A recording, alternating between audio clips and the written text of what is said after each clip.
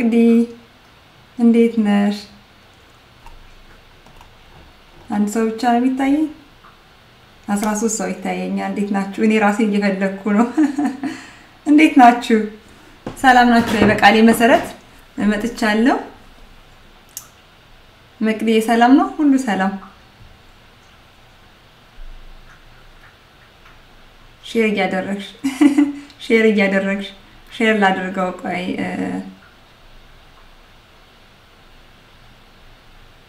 ፌስቡክ ላይ share እያደረኩኝ ነው። share አድርጉት፣ ምናልባት ሊጠቅም ይችላል።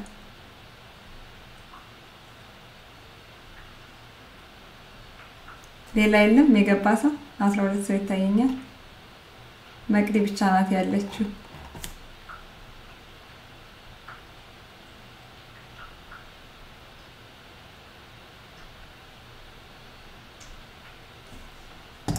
okay ስለዚህ እንጀምር። እየጠጣሁ እየጠጣሁ ሻይ እየጠጣሁ ነው። ረሃብ ይዣለሁ። ጠንከር ያለ ርዕስ ነው። ጠንከር ያለ ግን ቀለል ያለ ርዕስ ነው። እጃችሁን አታውጡም። እነማን ናችሁ ተደብቃችሁ የምታዩት? ተደብቃችሁ የምታዩ ሰዎች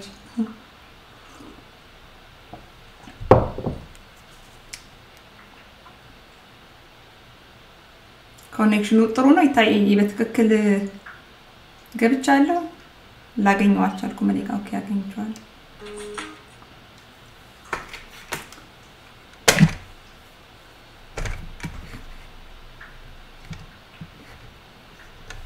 ሁለገብ ሰላም፣ እንዴት ነው ሁለገብ?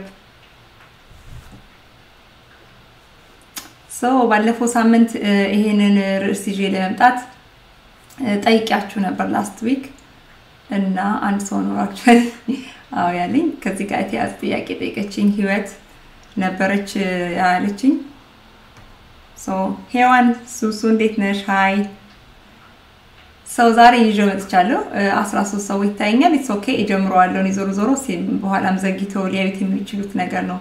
ድንገት የሆነ ነገር ሲፈልግ ሰው ውጭ ለመሄድ ሲያስቡ ምናምን ይሁን እንደዚህ አይነት ነገር search ሊያደርግ ይችላል እና ምናልባት ይጠቅማል በሚል ይህንን ርዕስ ይዤ መጥቻለሁ። live እንዲሆን የፈለግኩት ደግሞ እናንተ የምታስቡትን ነገር እንድትጠይቁ፣ እንድታጋሩ፣ ሀሳባችሁን እንድታካፍሉ በማሰብ ነው እንጂ እኔ ጨርሼ ቪዲዮ አስር ደቂቃ ቪዲዮ መልቀቅ እችል ነበር። ግን live ቢሆን ለመወያየትም ይሆናል ብዬ ስላሰብኩ ነው። ድምፄ ይሰማላ? ስላሰብኩ ነው። ለመወያየትም ይሆናል ብዬ ስላሰብኩ ነው። ድምፄም check እያደረኩ ነው። ጊዜ ነገ የገጠመኝ ስለሆነ ያ ብንወያይ like አድርጉ።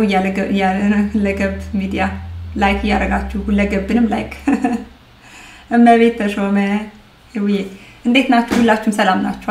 ሰው ወደ ገደለው እንግባ። ገደለው አትቤ ተብያለሁ። ወደ ነጥባችን ወደ ዋናው ርዕሳችን እንግባና የዛሬው ርዕስ ባለፈው ሳምንት ጠይቂያችሁ ቃል በቀባሁት መሰረት ኤምባሲዎች የትም ሀገር ከኢትዮጵያ ውጭ ኢትዮጵያዊ ስለሆንን መቼም ከኢትዮጵያ ውጭ እያለን ነው የምናወራው። ስለዚህ ከኢትዮጵያ ለመውጣት ስንፈልግ ከኢትዮጵያ በተለያየ ምክንያት ልንወጣ እንችላለን።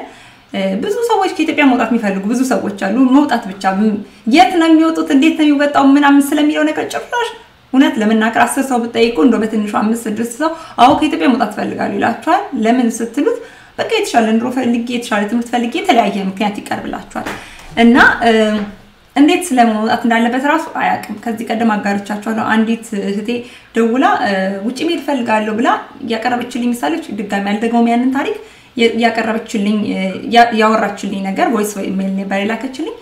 በጣም አስደንግጦኝ ነበር በወቅቱ እና እዚህ ጉዳይ ላይ በጣም ሳስብበት ነበረ። ከዚህ ጋር በተያያዘ ብዙ ነገር ማውራት እንችላለን፣ መወያየት እንችላለን ብዬ ስለማስብ የብዙ ኢትዮጵያውያን አስተሳሰብ ነው ብዬ ስለማስብ ከሀገር ስለመውጣት ማሰብ መጥፎ አይደለም።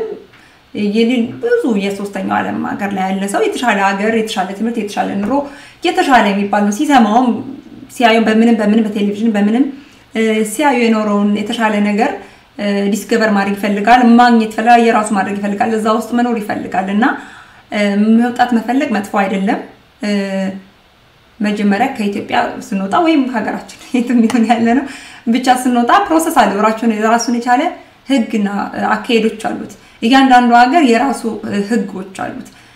አብዛኛዎቹ የተለመዱት ትልልቅ የሚባሉ በኢኮኖሚያቸው ጠንከር ያሉ የሚባሉ ሀገሮች ጠንከር ያለ የቪዛ process ወይም የይለፍ ምንድነው ቪዛ ምንድን ነው የይለፍ ፍቃድ ነው የሚባለው የይለፍ ፍቃድ አሰጣት ሂደቶች አሉ። ለምሳሌ እንደ ኢትዮጵያ ያሉ ሀገራት ቪዛ የሚሰጡት ኤርፖርት ላይ ነው። እንግዶች ሲመጡ welcome ብሎ ኤርፖርት ላይ ነው ቪዛ የሚገዙት እዛው። ከዛ በኋላ እዛው ነው እንግዲህ normal ደግሞ የኤርፖርት ይለፍ ደግሞ ላይ የምንድን የሚባለው የአቪዬሽን ነው ምንድነው አቪዬሽን ኤርፖርት ነው። እዛው ኤርፖርት ውስጥ ደግሞ የሀገር ውስጥ መግባቱን የሚገልጽ ደግሞ ማህተም ይደረግበታል። እሱ የይለፍ ቃል ነው። መግባቱ እዛ መግባቱ መውጣቱን የሚገልጽ ነገር ይታተምበታል። እሱ እኔ ለምሳሌ ኢትዮጵያዊ ነኝ በዜግነትም በትውልድም እና የኢትዮጵያ ፓስፖርት ነው ያለኝ እና ኢትዮጵያ ስገባ የኢትዮጵያ ፓስፖርት ይዤ ቢሆንም ዝም ብዬ ሰተት ብዬ አልገባም። ሀገሬ ነው ብዬ በር አንኳኩቼ ነው መግባት ያለብኝ። እዛ ጋር የኢሚግሬሽን ሰዎች ተቀምጠዋል። check ያደርጋሉ ማን የገባው ማን የወጣው የሚለውን ነገር ለምንም የተለየ ነገር ባይሆንም ግን ሀገር መጠበቅ ስላለባቸው ከዛ በኋላ ይለፍ ገብታለች ፈቲያ ገብታለች ብለው ማህተም ያደርጉልኛል። እገባለሁ ቪዛ ባይሆንም ማለት ነው። የውጭ ዜጋ ደግሞ ሲሆን ይከፍላል። ኢትዮጵያ ለመግባቱ የትኛውም ዓለም ላይ አነሰም በዛም ይከፈላል። እሱን ከፍሎ ይገባል። የት ኤርፖርት ሲደርስ አብዛኛውን አሁን አዳዲስ ህጎች ካሉት በተለየ ምክንያት አዲስ ካልወጣ የኢትዮጵያ ህግ እንደዛ ነው። ብዙ ሀገራቶች አሉ ያለ ቪዛ የሚካሄድባቸው ቪዛ ሳናመለክት ግን ሲገባ ለምሳሌ ኬንያ ለመብረር ዝም ብሎ በሮ እዛ አስመትቶ መግባት ይቻላል እስከማውቀው ድረስ ካልተቀየረ ህጉ። እንደዚህ የተለያዩ ሀገራቶች አሉ ዝም ብሎ ያለ ቪዛ መሄድ የሚቻልባቸው። ጅቡቲም እንደዛ እንደሚካሄድ አውቃለሁ። የተለያዩ ሀገሮች በኢኮኖሚ ከኛ ጋር የሚመጣጠኑ ማለት ነው። አደም ኢብራሂም እንዴት ነህ ወይም እንዴት ነሽ? እና እነዚህ በኢኮኖሚ ያደጉ ሀገሮች ግን የራሳቸው የሆነ የቪዛ አካሄድ የተለየ procedure አላቸው። ቪዛውን የሚሰጡበት መንገድ፣ ቪዛው የሚጠየቅበት መንገድም የተለየ ነው። ለምሳሌ አሜሪካ ለመሄድ አንድ ሰው ተነስቶ ከኢትዮጵያ ዝም ብሎ አሜሪካን ማየት ፈልጋለሁ፣ ገንዘብ ስላለኝ ብቻ አሜሪካን ማየት ፈልጋለሁ ሊል ይችላል። ግን ሊሰጠው ይችላል የሚለውን ስናይ ራሱን የቻለ process አለው። እኔ የማቀው ግለሰብ አለ ጥሩ የሚባል ኢኮኖሚ ያለው ጥሩ ሲባል እንደኛ ግለሰብ ሳይሆን ኢንቨስተር የሆነ ብዙ ድርጅቶች ያሉት ሰው ሁለት ሆኖ ገብቶ ሸሪኮች ናቸው። እንደውም አንደኛው ተሰጥቶት አንደኛው ተከልክሏል። የሚገርማችሁ ነገር የተከለከለው የተሻለ ኢኮኖሚ ያለው ነው። የተሰጠው እንደውም ያን ያህል አልነበረም። share ቢሆኑ ምን ላችሁ ፈልጌ ነው የራሳቸው አካሄድ አለ። ከዛ ጋር በተያያዘ ማወቅ ያለብን ብዬ የማስባቸውን ዋና ዋና ነገሮች አውራችኋለሁ። በዛው እንወያያለን። ከነጥቤ እንዳልወጣ መስመር ይዤ አንዳንድ እያልኩኝ ላውራና በመሀል በመሀል እንወያያለን ማለት ነው። ወይም መጨረሻ ላይ ደግሞ ድብን ያለ ውይይት በሉት ክርክር ልናደርግም እንችላለን። እኔ ጋር ትከራከሩ። አምባሳደር አይደለሁም፣ ጽፌላችኋለሁ። just የምሰጣችሁ የራሴ ልምድ ከተለያየ angle ያገኘሁትን ልምድ ነው እና ደግሞ አሜሪካን ኤምባሲ አካባቢ ነው ያደግኩት። ስለዚህ የተወሰነ information አውቃለሁ። ሰዎች ሲያለቅሱ፣ ሲደሰቱ፣ ሲያዝኑ በአጠቃላይ ቪዛ ሲከለከሉም ሲሰጣቸውም ያለውን ነገር አይቻለሁ። ለምን ሰጣቸው የተከለከላቸው ብዙ ነገሮች የመስማት እድል ገጥመውኛል። ራሴን ቪዛ አመልክቼ ቪዛ ወስጄ ነው እዚህ የመጣሁት የምኖረው ጀርመን ማለት ነው። በቪዛ የመጣሁት ስለዚህ ይህንን process በተወሰነ መልኩ አውቃለሁ እና ምናልባት ትሪክ ሊባል የሚችል ነገርም ሊሰጣችሁ ይችላሉ በሚል ነው ዛሬ ወደ ገደለው መንገባው ወደ ቪዛ አካሄዱ መንገባው። ፍቅር ተከብችኪ እንዴት ነሽ? ሰላም ለቪዛ ስናመለክት ውጭ ከአንድ ሀገር አንድ ግለሰብ ወደ ሌላ ሀገር ሲሄድ ምክንያት ማቅረብ አለበት። ምክንያት ዝም ብሎ ተነስቶ አንድ ሰው መሄድ አይችልም። ዝም ብሎ ተነስቶ ማለት ለማየት ሊሄድ ይችላል፣ ግን ለማሄድ አንድ ሰው ሲሄድ ቅድም እንዳልኳችሁ መጎብኘት ትፈልጋለሁ ብሎ የራሱን የቻለ የጎብኚ process አሟልቶ ነው የሚሄደው። ለስራ ሊሄድ ይችላል። አንድ አምባሳደር ተነስቶ ለስራዊ ጉብኝት የሆነ ሀገር ሊሄድ ይችላል። ተሾሞ ሊሄድ ይችላል። ዲፕሎማቲካዊ የሆነ የስራ ጉዞ ነው የሚባለው። እሱ ራሱን የቻለ ለየት ያለ አሰራር አለው። ለእኛ አይመለከተንም። እሱን እንተወውና ግለሰቦች ለስብሰባ ሊሆን ይችላል ለተለያዩ የግል ድርጅቶች አሁን ለምሳሌ ኢትዮጵያ በኢኮኖሚ ጠንካራ ሀገር ስላልሆነች የተለያዩ ድርጅቶች የተለያየ ሀገር ላይ የላትም። የኢትዮጵያ የሆኑ ድርጅቶች የተለያዩ ሀገራቶች ላይ የሉም። ስለዚህ ሰራተኞች ከአንዱ ሀገር ወደ ሌላ ሀገር በሹመትም የሆነ በዝውውር ሊጓጓዙ ብዙ አይችሉም። UN ምናምን የሚሰሩ ሰዎች የተለያዩ የውጭ ድርጅቶች የሚሰሩ ሰዎች ከሆኑ ምናልባት ምናልባት እንደሱ ሊያደርጉ ይችላሉ። በተለይ የመንግስት ውጭ ጉዳይ ምናምን የሚሰሩ ሰዎች እንደዚህ ሊሾሙ ይችላሉ። እሱ ይሄ diplomatic ቪዛ ምናምን ስለሆነ አይመለከተንም። ግን በተረፈ በስራ ጉዳይ ብዙም ቪዛ አይጠየቅም ከኢትዮጵያ። በስብሰባም ነው በአብዛኛው ለስብሰባ ሰዎች ከኢትዮጵያ ይወጣሉ። እሱ ስብሰባውን ከሚያዘጋጀው አካል ከቀጣሪው አካል ከዛ ከዛ ጋር ተወስዶ በሚታይ ሰነድ ነው የሚሰጠው። እሱንም እንለፈው ብዙም አስፈላጊ ነው ብዬ ስለማስብ ስለማላስብ የሚቀጥረው አካል እና ቪዛውን ያመለከተው ያ ሰራተኛ እንዲሄድ የፈለገው አካል የሚጨነቅበት ስለሆነ አይመለከተንም ብለን እንለፈው አይደል። ራሱን የቻለ አካሄድ ስላለው ለትምህርት ነው በአብዛኛው individuals እንደኛ አይነት ሲቪል የሚባሉ ሰዎች individuals ሊያመለክቱ የሚችሉት ቪዛ ቀላል የሚባለው ቪዛ የትምህርት ቪዛ ነው፣ ስኮላርሽፕ ማለት ነው።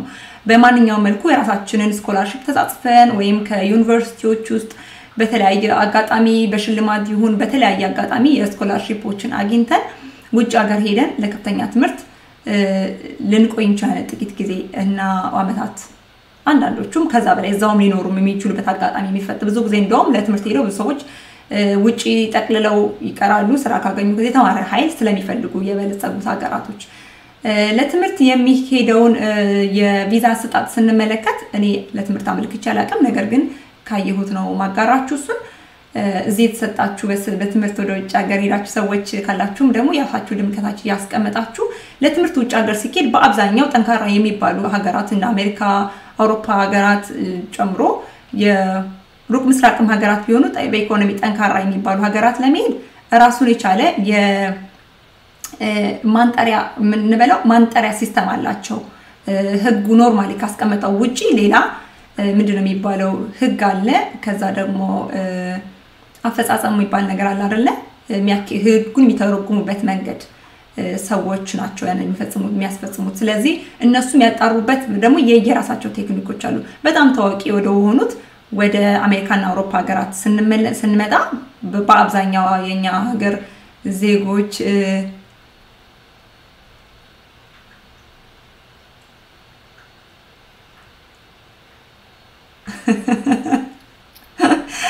አደም እብርሃም ምን ላርግ ብለሽ ነው ሁለገብ ጆሮአችንን ማከል በዲያስፖራ እኔ ዲያስፖራ ነኝ እንደ ነገሩ አማራጭ ነኝ። እሺ ቸርስ እየጠጣሁ አብዛኛው የኢኮኖሚ በኢኮኖሚያቸው ጠንካራ የሚባሉ ሀገራቶች ያወጧቸው የሚባሉ ወይም መስፈርቶች አሉ።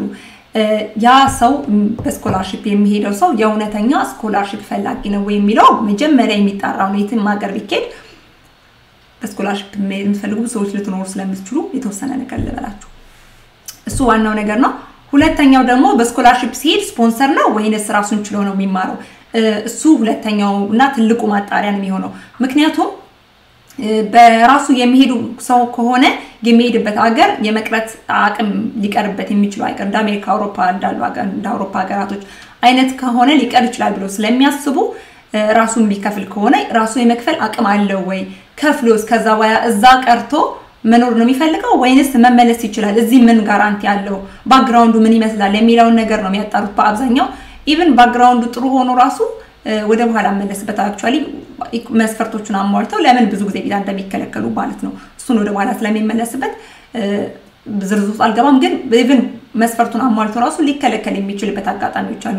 ብዙ ጊዜ የስፖንሰር ስኮላርሺፖች ሲሆኑ ቪዛ የማግኘት እድሉ ከፍተኛ ነው የሚሆነው። ምክንያቱም ሁሉ ነገር በስፖንሰር ስለሚሸፈን ያንን ስፖንሰር አድራጊውን ነው more የሚያጣሩት አቅም አለው ወይ real person ነው ወይ የሚለውን ነገር ማለት ነው። ስለዚህ ስኮላርሽፕ የሚያገኘው ሰው ብዙ ጫና አይኖርበትም።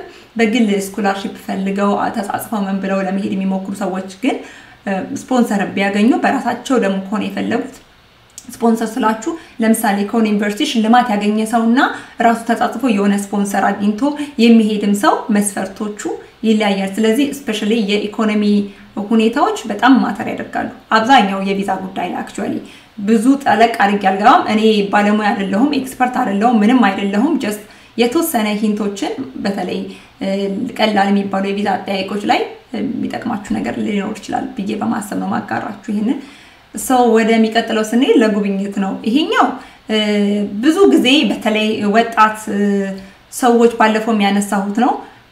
ከተለያየ ሰዎች የጉብኝት ወረቀት ልናስልክ እንችላለን። የጉብኝት ወረቀት ማለት ተራ ነገር ነው። የዚህ አካባቢ የሚመለከተው የውጭ ጉዳይ ሚኒስትር ቢሮ ጋር ሄዶ ለምሳሌ የምኖርበት አካባቢ እኔ የሆነን ሰው መጋበዝ ፈልጋለሁ ማለት እችላለሁ። ልክ invitation card ልደቴ ሰው ጋር እንደመላክ ቁጠሩት። በቃ ትንሽ ብር ይከፈላል። ከዛ ወረቀት ፎርም አለ ሞልቼ እሱን መላክ ማለት ነው። ከዛ ያ ሰው ሞልቶ ለኤምባሲ ይከፍልና ገብቶ ያመለክታል እና ይሰጡታል ወይ? ቁም ነገሩ ያ ነው። ያ ቪዛ ያመለከተው ሰው ወይ ቪዛ ያገኛል ወይ? ወረቀት ማግኘቱ በጣም ቀላል ነው። ወረቀት ማንም ሊልክ ይችላል። ስፖንሰር ልሆን እችላለሁ ብሎ ሊልክ ይችላል። ግን ቪዛ ማግኘቱ ቀላል ነገር አይደለም። ምክንያቱም እንዳልኳችሁ ያው የኢኮኖሚ ጉዳይ ነው ጥያቄው። ስለዚህ የምንጋብዘው ሰው ምን አይነት relationship አለው ከኛ ጋር የሚለው ይታያል። የምንጋብዘው ሰው ስንጋብዘው እኛ ከሆነን ስፖንሰር የምናደርገው ማቅረብ ያለብን ቦታ አለ፣ ጋባዡ ማለት ነው። ጋባዡ እሱ ይጣራል። የመኖሪያ ሁኔታ፣ ኢኮኖሚው አቅም ያለው ሰው ነው ወይ የሚለው ነገር ይጣራል። እዛ ያለው ሰው ተጋባዡ ደግሞ ቪዛ የሚቀበለው ቪዛውን ያመለከተው ግለሰብ ደግሞ ስፖንሰር የሚደረግ ከሆነ ቢሆንም ስፖንሰር ተደርጎም ቢሆን ከዛ በኋላ ተመልሶ ይመጣሉ የሚለውን ነገር ማረጋገጫ የኢኮኖሚ background ኡን ያጣራሉ፣ የስራ ሁኔታውን ያጣራሉ። በአብዛኛው ደግሞ የቤተሰብ ሁኔታ ይጣራል። ያገባ ልጅ ወለደ ምናምን ቤተሰብ የመሰረተ ሰው እና ዝም ብሎ I'm single የሚል አይነት ምትል አይነት ሴት ወይም I'm single የሚል ወንድ አይነት እኩል ሚዛን አይደፋ። ምክንያቱም እዛ ምንም አለኝ ብሎ የሚያስበው ነገር ስለሌለ ማለት ነው። እሱን ከግምት ይከታሉ፣ በ normal ጉብኝት ማለት ነው። ስለዚህ ለጉብኝት ስናመለክት ማሰብ አለብን። እኔ ጎብኚ ለመባል ብቁ ነኝ ወይ? ምክንያቱም ማንም ሰው ጎብኚ ለመባል ብቁ ነው። እውነት ለመናገር ግን በኢኮኖሚ ያደጉ ሀገሮች ከኢኮኖሚ ጋር ነው የሚያነጻጽሩት። ሰዎች ሀገራቸውን ለቀው ወደ እኛ መምጣት ይፈልጋሉ ብለው ስለሚያስቡ እሱን የሚያንገዋልሉበት የሚያጠሩበት የራሳቸው መስፈርት ነው። ስለዚህ እዚህ ጋር ያንን መስፈርት ካላሟሉ እንደውም አለማመልከት የተሻለ ነው ብዬ አምናለሁ። ያንን አሳማኝ ነገር ከሌለን ማለት ነው። ግድ ካልሆነ ማለት የግድ መሄድ ያለብን ነገር ከሆነ of course፣ ግን እስኪ እድሌ ልሞክር ብሎ በተደጋጋሚ እንደዚህ አይነት ቪዛዎችን ማመልከት እንደኔ እንደውም እንደውም risk ኡ ይከፋል ባይ ነኝ። ምክንያቱም በሌላ እንደዚህ የሞከረ ሰው scholarship ድንገት ቢያገኝ case ኡ ስለ save ስለሚደረግ የሆነ ቀን ጥሩ የትምህርት አግኝቶ ህልሙ የሆነ ነገር ገጥሞት ሊከሽፍበት ይችላል። በተለያየ ምክንያት በሌላ ሌላ ሊያሰጠው የሚችል መልኩ ቪዛ አመልክቶ ሊከለከል የሚችልበት ሁኔታ ሊፈጠር ስለሚችል በተደጋጋሚ ዝም ብሎ ኤምባሲዎች ውስጥ እንደ አባታችን ቤት ዘው ማለት አያዋጣም። ትንሽ ቀል ልጨምርበት ብዬ ነው። ነጥቦቼ እንዳልስት ወረቀት ይዣለሁ። ሶስተኛው አራተኛው ነው። ይሄ የቤተሰብ በቤተሰብ ነው። በቤተሰብ ብዙ አይነት የቤተሰብ ጉዞዎቹ ቪዛዎች አሉ። ለምሳሌ እኔ እናቴ መታ ነበር። እሱን የእናቴ ምሳሌ አድርጌ በደንብ እነግራችኋለሁ። ልጅ ልንወስድ እንችላል። ለምሳሌ እኔ የኢትዮጵያ ልጅ ቢኖረኝ ልጄን ለማምጣት ማለት ነው። ልጅ ቢኖረኝ ማለት ዝም ብሎ ልጄ ስለሆነ ብቻ ይመጣል ማለት አይደለም። ልጅ ቢኖረኝ እኔ ደብቄ ከነበረ ካልተናገርኩኝ፣ ሰነድ ላይ ከሌለ ከኢትዮጵያ ስወጣ በህጋዊ መንገድ ነው የወጣሁት ወይም ደግሞ በምንም በኩል ልምጣ እዚህ እዚህ ሰነድ ላይ ልጅ እንዳለኝ ካላሰፈርኩኝ ልጄ ለማለትም የሚያስደፍር ሁኔታ አይፈጠርም ማለት ነው። በተለይ ውጭ ሄዳችሁ ድንገት አሳይል የምትጠይቁ ሰዎች ልጅ ካላችሁ ሰነዳችሁን በጥንቃቄ ያዙ። እንደው አይታወቅም ይኖራል። አሁንም እየሰጠ አይነት ሰው ሊኖር ስለሚችል ማለት ነው። ወለተ ስላሴ ሰላም እና እንደዚህ አይነት ነገሮች ላይ ጥንቃቄ ያስፈልጋል። ልጅ ለማምጣት ባልን ለማምጣት ሊሆን ይችላል፣ ለጉብኝት ሊሆን ይችላል፣ አብሮ ለመቆየት ሊሆን ይችላል፣ አብሮ ለመኖር ሊሆን ይችላል። እሱ actually የባልና የእጮኛን በኋላ እመጣበታለሁ። ግን ቤተሰብ በአብዛኛው ልጅ ወንድም እህትም ሊሆን ይችላል። በተለያየ case ኦች detail አላውቅም፣ ግን እህት ወንድም ምናምን ማምጣት የሚቻልባቸው ሲቹዌሽኖች አሉ። እንደየ ሀገራቶቹ ቢለያዩም more ወደ አሜሪካ፣ ካናዳ አካባቢ ይመስለኛል ብዙ አይነት መንገዶች አሉ። እሱን ስለማላቅ እዛ ውስጥ አልገባም እና ቤተሰብ ማምጣት በተለይ እናትን ማምጣት ወደሚለው ልምጣና እናትና ልጅን ማምጣት ያው ልጅ እንዳልኳችሁ ሰነድ ላይ ካለ መምጣቱ ግድ ነው። መምጣቱ ግድ ነው።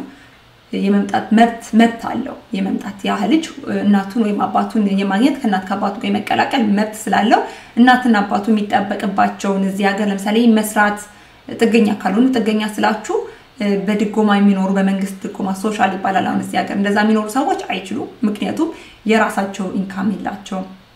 እንደሱ ከሆኑ ኃላፊነት መውሰድ አይችሉም፣ የህፃኑን ኃላፊነት። ስለዚህ እንደዚህ አይነት ሰዎችን ልጆቻቸውን እንዲያመጡ አይፈቅዱላቸውም። ስለዚህ መስራት ህጋዊ ሆኖ የሚሰራ ሰው normal የሚባለውን ጤናማ ህይወት የሚኖር አይነት ሰው ከሆነ ቪዛውን ለልጁ የማሰጠት ቪዛ ልጁ የማግኘት chance አለው ሳይሆን መብት አለው መብት አለው። ወደ እናትና አባትን ወደ ማምጣት እንግባ። እኔም experience ስላደረግኩት ይህንን ምሳሌ እየጠቀስኩ ልገራችሁ። ለምሳሌ እዚህ እንግዲህ አሁን ጀርመን ያለውን base አድርጌ ነው እሱ mostly የምነግራችሁ፣ ግን የአሜሪካውንም በዛው አጫው እየነካካው አወራችኋለሁ። ያው የተለየ አይደለም፣ በአብዛኛው አንድ አይነት ነው። እናቴ ልትመጣ የነበረ ጊዜ እኔ ልወልድ ስል ነበር ልትመጣ የነበረው። በአጋጣሚ በተለያየ ምክንያት የባለቤቴ እናት ሁኔታዋ ጥሩ አልነበረም፣ መሯሯጥ አልቻልንም ነበር። ተጓትትና ከወለድኩ በኋላ እንድትመጣ ሆነ ማለት ነው የቪዛው ማመልከቱ process እና ቀጠሮ ማግኘቱ ራሱ በጣም እኛ ከምንፈልጋት ጊዜ በጣም የተጣበበ ጊዜ ውስጥ ነበረ ቀጠሮ ያገኘችው ኦንላይን ስለሚያዝ ቀጠሮ ማለት ነው። በዛ ላይ ደግሞ ኤምባሲ ከገባች በኋላ ሰነዶቹ እንደፈለግናቸው አልነበሩም። ለምሳሌ አንድ ሰው ሲጓዝ ምናልባት አሁን ወላጆቻችሁ የምታምጡ ሰዎች ካላችሁ ሊጠቅማችሁ ስለሚችል ነው። አንድ ሰው ለምሳሌ እናቴ ለማምጣት ስንፈልግ እዚህ መግዛት የነበረብን የጉዞ መድን ዋስትና አለ። የጤና መድን ዋስትና ማለት አደጋ ምናምን ቢደርስ ብትታመም ምናምን የሚሸፍን ማለት ነው። ኢንሹራንስ አለ።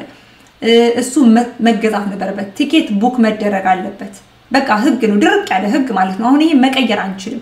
ትክክል አይደለም፣ fair አይደለም። ቪዛ ያልተሰጠውን ሰው ቲኬት book አድርግ ማለት okay፣ book ማድረጉ ምንም cost አያደርግም፣ ግን ኢንሹራንስ ግዙ ማለት fair አይደለም። በጣም ድርቅ ያለ ነገር ነው እና ግን እንደሱ ማድረግ ግድ ነበረብን። ገዝተን መጀመሪያ ዝም ብላ እንድትገባ ፈለግን። ምክንያቱም ከሰጧት በኋላ እንገዛለን የሚለውን አስበን የሚቻል መስሎን አልሆነም። መለሷት። አስተካክለሽ ነይ አሏት። አስተካክላ ሄደች። የሚሰጡትን ነገር በትክክል የሚጠይቁትን ነገር በትክክል ማሟላት ያስፈልጋል የሚለውን እያሳየኋችሁ ነው። ከገባች በኋላ በጣም አቆዩት። ቀኑ ተጣበበ። ከዛም ቢያሏት፣ ምክንያቱም ቢሰጧትም በዛ ጊዜ መምጣት እንደማትችል ያውቃሉ። ሁለት ጊዜ ነው የገባችው። ከለከሏት። ማሟላት ያለባትን ነገር ሁሉንም ነገር ለምሳሌ አሟልታለች። አንዳንድ የንብረት ካለ ይላሉ። ንብረት ካለ ካለ ነው ግዴታ አይደለም። ከሌለ የለም ነው። ያለውን ነገር ይዞ መቅረብ ነው። ግን እሷ ለምሳሌ እዚህ መጥታ ሆቴል ምናምን ምናምን አታርፍም። የሆቴል reservation ምናምን ይጠይቃሉ። ሆቴል ስለማታርፍ አያስፈልግም። በጣም አስፈላጊ የሚባሉ ያለ ነገር ብቻ ነው ልናቀርብ የሚገባ ወይም ደግሞ ያለብንና አቀረብንና ከገባች በኋላ ለሁለተኛ ጊዜ ነው ለሶስተኛ ጊዜ እርግጠኛ አይደለሁም፣ ረስቼዋለሁ። ሶስት ዓመት አልፎታል። ከለከሏት እና almost በቃ ተስፋ የምንቆርጥበት ሁኔታ ነው የነበረው። በተለይ እኛ አጋጣሚ ሀዘን ውስጥም ስለነበርን ግን ተስፋ አልቆረጥንም። ምክንያቱም እናቴ እኔን የመጠየቅ መብት አላት። እኔ እንደዛ ነው ማምነው። ኤምባሲ ሲገባ እንደዚህ አይነት አቋም ያስፈልጋል ብዬ አስባለሁ። ምክንያቱም ብዙ ጊዜ ምን ያህል sure ነው ያ ሰው ምን ያህል confidence አለው የሚለውን ነገር ማየት ይፈልጋሉ። ግንኙነታችሁ የእውነት ከሆነ እንትን ነው እነሱ ሲያዩ ራሱ የሚተማመኑበት ነገር አለ። የሰዎችን ስነ ልቦና መግዛት በጣም value ስላለው ምንም ነገር ላይ አይደለ። ከሰው ጋር ስናወራ ሲያይን ሰው አይናችን ሲያይ የሚረዳው ነገር ነው ከምናወራው ነገር የበለጠ ዋጋ ያለው እና ተስፋ መቁረጥ አልፈለግንም። ደብዳቤ ጻፍን።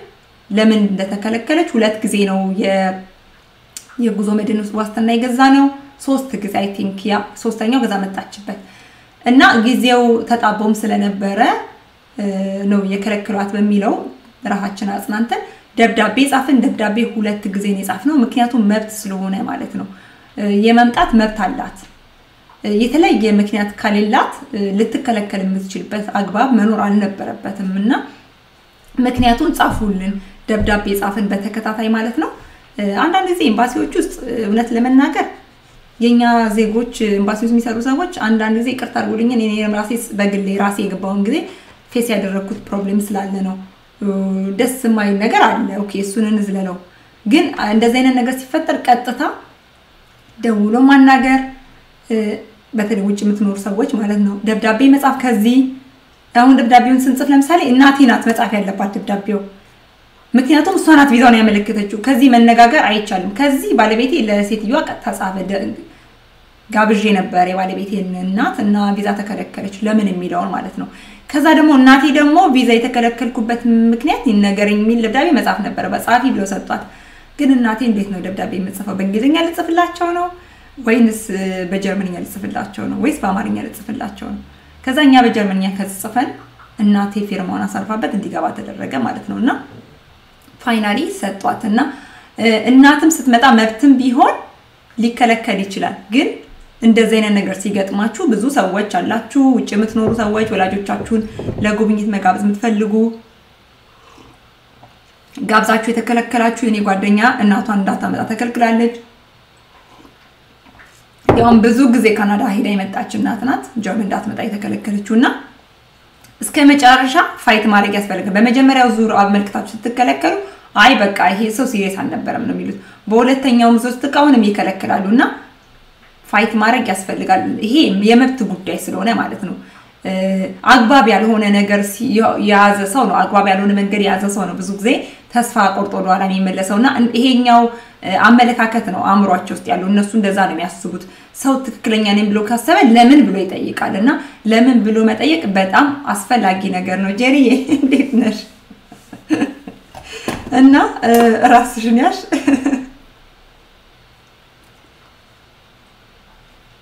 የሀገሩን ዜጋ ሲያዩሽ ይቆጠቆጣሉ ኤምባሲ እያለች ነው። ወደ በኋላ እንመጣበታለን። በደንብ አድርገን ነው የምናማቸው። አይ ሀሜት ሳይሆን we have to criticize አለን። አንዳንድ ነገሮችን ያስፈልጋል። እና እናቴ በዚህ መልኩ ቪዛ አግኝታለች። እንደዚህ አይነት case ኦች ብዙ አይቻለሁ እኔ teenage በነበርኩበት ሰዓት አሜሪካን ኤምባሲ ሲገቡ ሲወጡ በጣም ብዙ እናቶች አይቻለሁ። በጣም አዛውንት የሆኑ እናቶች ምናምን ብዙ ጊዜ ይሰጧቸዋል ብዙ ጊዜ ይሰጧቸዋል። ግን አንዳንድ ጊዜ ትንሽም ነቃ ሲመስሏቸው ሰበብ ፈልገው የሚከለክልበት ጊዜ አለ እና መብትን ማወቅ ጥሩ ነው። ልጅ ካለ እዛ ልጅ ወላጁን ጠርቶ ትንሽ ጊዜ እረፍት አድርጎ እንዲመጣ እንዲጠይቃቸው ማድረግ ይችላል። መብት አለ፣ መብት ነው ይሄ። ኤምባሲ የመስጠት ግዴታ ባይኖርበት ይባላል የለበትም እንዴ? አይ የተለየ ምክንያት ከሌለ በስተቀር መከልከል የለባቸውም። የመከልከል አግባብ አይደለም መከልከሉ። ስለዚህ fight ማድረግ ያስፈልጋል እስከ መጨረሻ። ግን ህጋዊ ሰነዶችን እኛ አሁን ሰነዶችን በትክክል ይሄ ነገር ለምን አስፈላጊ አይደለም፣ ባለቤቴ ይሄ ለምንድን ነው የምትጠየቀው? ምን ያደርጋል? እሷ እኛን ልጠይቅ ነው የምትመጣው ስራ አትቀጠር ምናምን ለምንድን ነው የሚጠይቋት ብሎ በጣም ሲበሳጭ ነበር። እና ይሄ አያስፈልጋትም ይሄን ይዛ መግባት ያለባት ምናምን ሲል ነበር። እና በዛ በዛ ምክንያት የተወሰነ ሰነዶችን በትክክል ይዛ አልገባችም ነበር። ኧረ ተው እያልኩት ነበር እኔ አልሰማም አለኝ። finally ሁለት ጊዜ ኪሳራ ገጠመን እና እንደዚህ እንደዚህ ሰነዶችን በትክክል ካሟሉ የተለየ እኛ ሀገር ትልቁ ችግር ምንድን ነው? በቃ ቪዛ ተሰጣቸው ትልቅ ነገር እናደርገዋለን። ይሄ የመብት ጉዳይ ስለሆነ በትክክል ህጋዊ አካሄዶችን መሄድ ስሞች ላይ spelling ስህተቶች እንፈጥራለን። እኔ በጣም ስጨነቅ የነበረው እንደዚህ አይነት ስህተት ላለመፍጠር ነው። እንደዚህ አይነት ስህተቶች እንዳይፈጠሩ ነው። ምክንያቱም አውቃለሁ ወላጆቻችን ብቻ አይደሉም እኛ ወጣቶቹ እንኳን spelling ላይ ምን ያህል ቸልተኛ እንደሆነ እኔና እህት ወንድሞች ሁሌ እላቸዋለሁ ስማችን የተለያየ እንዳይሆን በተለያየ ምክንያት በሆነ ምክንያት በእንግሊዝኛ መጻፍ የሚያስገድደን ቦታ እንገናኝና እህትና ወንድም መሆናችንን ማንም ላይቀበለን ይችላል። ምክንያቱም ህግ ፊት ሲመጣ ህግ ቀጥታ ነው ነገሮችን የሚያየው። ስህተት ነው ምናምን ብሎ ነገር የለም። እኛ ሀገር ግን በአማርኛ ሲሆን ስለማነሳሳት በእንግሊዝኛ ደስ እንዳለን ነው የምንጽፈው እና እሱ በጣም ወሳኝ ነገር ነው። ሰነዶች ስታወጣ ሰነዶችን በጥንቃቄ እንድታወጣ ስፔሊንጎቹ እንዳትሳሳት። እኔ ጽፌ ሁሉ የሰጧት በዚህ መልኩ ስህተት እንኳን አድርገው ቢሰጡሽ ሰነስተዎች መልሰሽ አስተካክለው እንዲሰጡሽ አድርጊ ወዲያው። እንደውም አስተካክለው አበላሽተውባት ነበር የሆነ ነገር የጋብቻ ሰርተፍኬት ይመስለኛል እና ወዲያው እንዲስተካከል ተደረገ። የ spelling ስህተት ማለት ነው። እንደዚህ እንደዚህ አይነት ትንንሽ የሚባሉ እኛ በጣም ቸል የምንላቸው ነገሮች እዛ ሲገቡ በጣም ትልቅ ቦታ ያላቸው ነገሮች ናቸው። ምክንያቱም እያንዳንዱ ሰው ለምሳሌ እኔ ልጅ ራፋኤል ነው ስሙ የሚጻፈው በ F ሳይሆን ፋ የሚለው ማለት ነው PH ብለን ነው የምንጽፈው። ስለዚህ እኔ አሁን የሆነ ቦታ ሄጄ ስሙን ራፋኤል ነው ስል በ PH ነው በ F ነው የምጽፉት ብሎ ይጠይቁናል። ምክንያቱም እያንዳንዱ እንደዚህ አይነት ነገሮች በጣም strictly የሚሄዱት okay እነሱ ቋንቋቸው ስለሆነ ሊሆን ይችላል። እኛ ደግሞ በአማርኛ ስለምንጽፍ ነው። ግን internationally ስንመጣ ተቀባይነት አይኖረንም እንደዚህ አይነት የተዛቡ ነገሮች ማለት ነው። ስለዚህ ለልጆቻችሁ ኢትዮጵያ ሆናችሁ የምታዩ ሰዎች በተለይ spelling ነገሮች ላይ ማንኛውም ሰነድ ነገር ላይ በጥንቃቄ spelling ኦችን መሙላት habit ልምድ ማድረግ ይሄ የግዴታ ግዴታ መሆን መቻል አለበት። ይሄ የእድሜ የምናምን እንደዚህ ቁጥሮችን በጥንቃቄ መሙላት ግዴታ መሆን መቻል አለበት። ስለዚህ በቤተሰብ የሚለው ላይ ማለት ነው እናቶችን እንደዚህ ለማምጣት በተለይ እናትን ለማምጣት እንደዚህ አይነት process አለው። እንደ advice የምነግራችሁ ነገር ደግሞ ሴቶች ከሆናችሁ እናቶቻችሁን ለማምጣት ስትፈልጉ በተለይ እርጉዝ ሆናችሁ ከመውለዳችሁ በፊት እናቶቻችሁ እንዲደርሱ የምትፈልጉ ከሆነ ወይም ከወለዳችሁ በኋላ ያንን ጊዜ በደንብ አስልታችሁ ቀድማችሁ ነው ያንን process ማድረግ ያለባችሁ። ምክንያቱም it takes time በጣም በጣም it takes time። አንዳንድ ጊዜ በጣም የእኔ እናት አሁን ልጄ ስንት ወሯ ላይ ነው? አራት ወሯ አካባቢ ነው የመጣችሁ። እንግዲህ ከመውለዴ በፊት እንድትመጣ ፈልገን የነበረው ማለት ነው። ስለዚህ እንደሱ አይነት ነገሮችን አስቡበት። ሰላም አክሊሉ እልፍነሽ በርታ እልፍዬ ማርዬ እንዴት ነሽ ጓደኛዬ እልፍነሽ በርታ እዚህ እዚህ ሰቅዬ ነው ማዋረድ ማዋረድ አይደለም አንቺ በእኔ መዋረድ ብርቅሽ አይደለም ጓደኛዬ ናት ማርዬ እንዴት ነሽ ደስ ብሎኛል ስለምታይኝ። ፈገግ ካልኩኝ አያችሁ ጓደኛዬ ሳይ። so ስለዚህ በዚህ መልኩ እንደዚህ አይነት ነገሮች ላይ በጣም serious ሆኑ ጓደኛዬ ስለሆነ ማፈር ሁሉ ጀመርኩኝ። ሌላው በእጮኛ ነው። በእጮኝነት ቪዛ ሲጠየቅ ይሰጣል ወይ? most probably actually ይሰጣል። ይሰጣሉ ብዙ ጊዜ ግን proof ማድረግ ይፈልጋሉ ማረጋገጥ ይፈልጋሉ። ይሄ እጮኝነት የእውነት ነው ወይ? በተለይ አሜሪካ አውሮፓም actually ጀርመንም እንደዛ ናቸው። ግን የሚመጡበት ሀገር ይወስናል አሁን ለምሳሌ ከኢትዮጵያ obviously የመስጠት እድላቸው በጣም rare ነው የሚሆነው። ይሰጣሉ ግን በጣም ነው የሚያጣሩት። ስለዚህ እጮኛ ሲኮን አንድ ሰው እጮኛሽ ከሆነ ወይም boyfriend ሽ እንኳን ቢሆን ዝም ብሎ ባያጭሽም ቀለበት ባያደርግልሽም ምን አይነት ትዝታ ሊኖራችሁ ይችላል? ምን ልታሳዩ ትችላላችሁ? እጮኛ መሆናችሁን አብራችሁ ትዝታ እንዳሳለፋችሁ አብራችሁ ለረጅም ጊዜ አብራችሁ እንደነበረ አጭር ጊዜ ቢሆን ምን አይነት evidence አላችሁ? እሱን ነገር ነው ማጣራት የሚፈልጉት። ስለዚህ የተለየ ተአምሩ ስለመግባት አትሞክሩ። ብዙ የማያቸው ነገሮች ስላሉ ነው።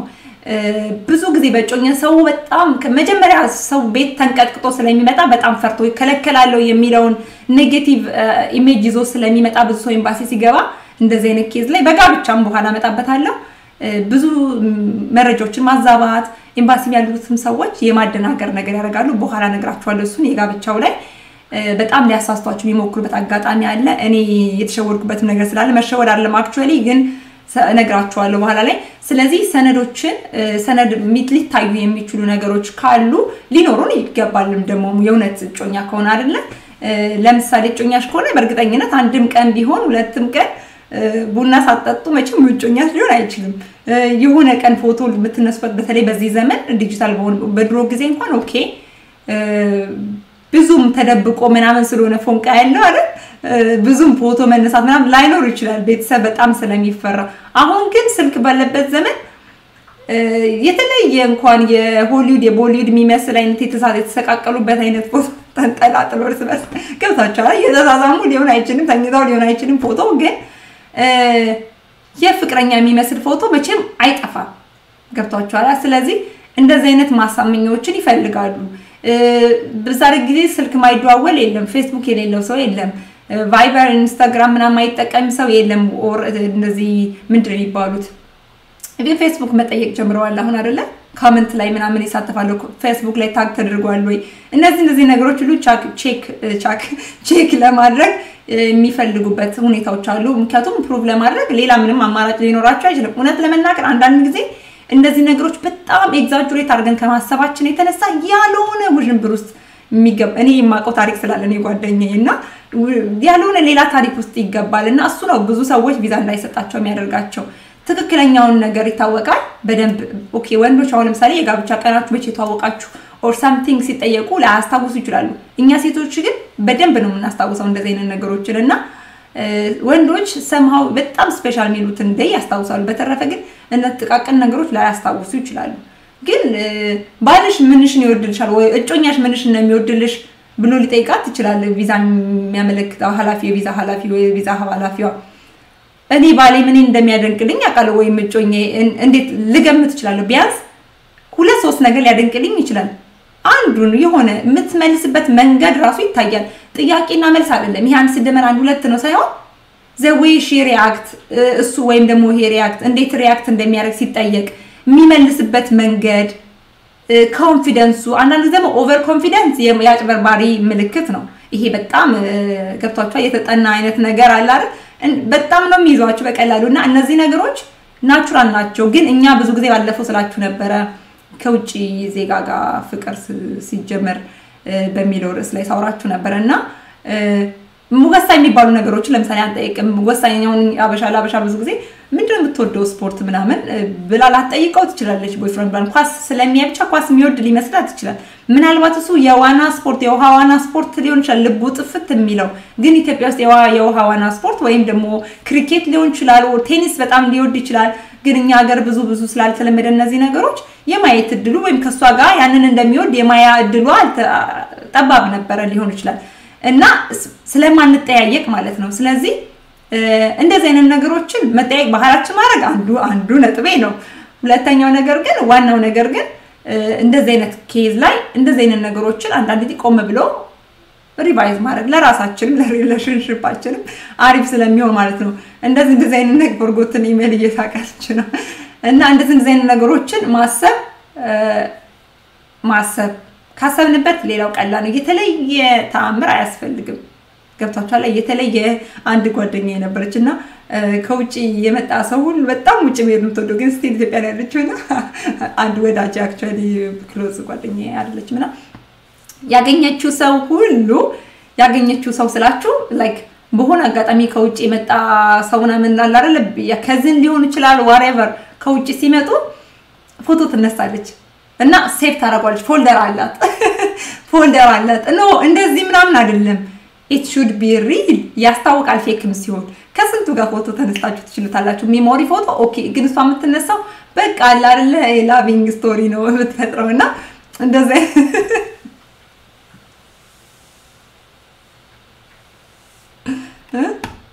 ምንድን ነበር አዳና አልገባኝም።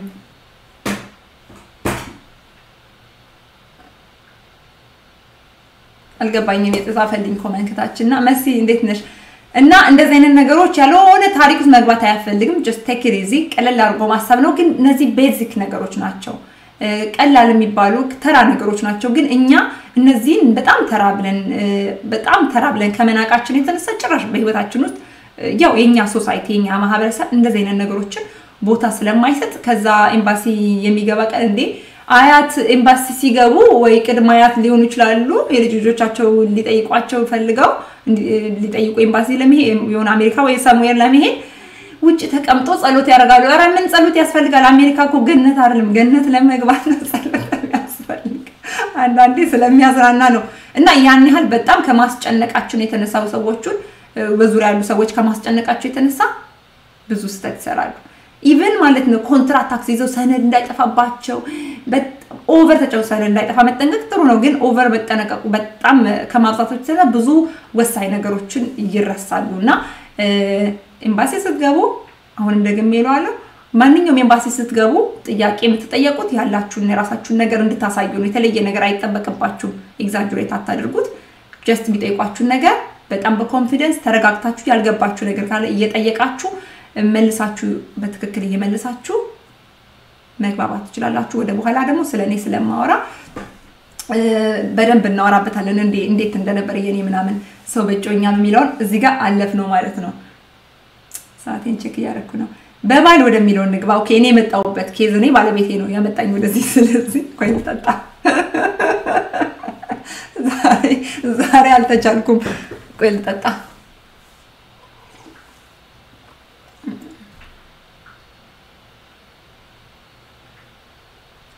forgotten email ከባድ ነው እህቴ፣ እስካሁን ገብታ አልሆነላትም። የት ነው የገባችሁ? እስኪ ጻፊልኝ። በምንድን አይነት case ነው የገባችሁ? እነሱ እነሱ ነገር ጻፊልኝ። እኔ እኮ የቪዛ አማካሪ ልሆን ነው። ልክፈት እንደ ቢሮ እዚህ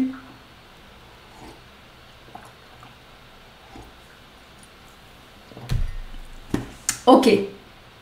ዜማ በቀልኩኝ።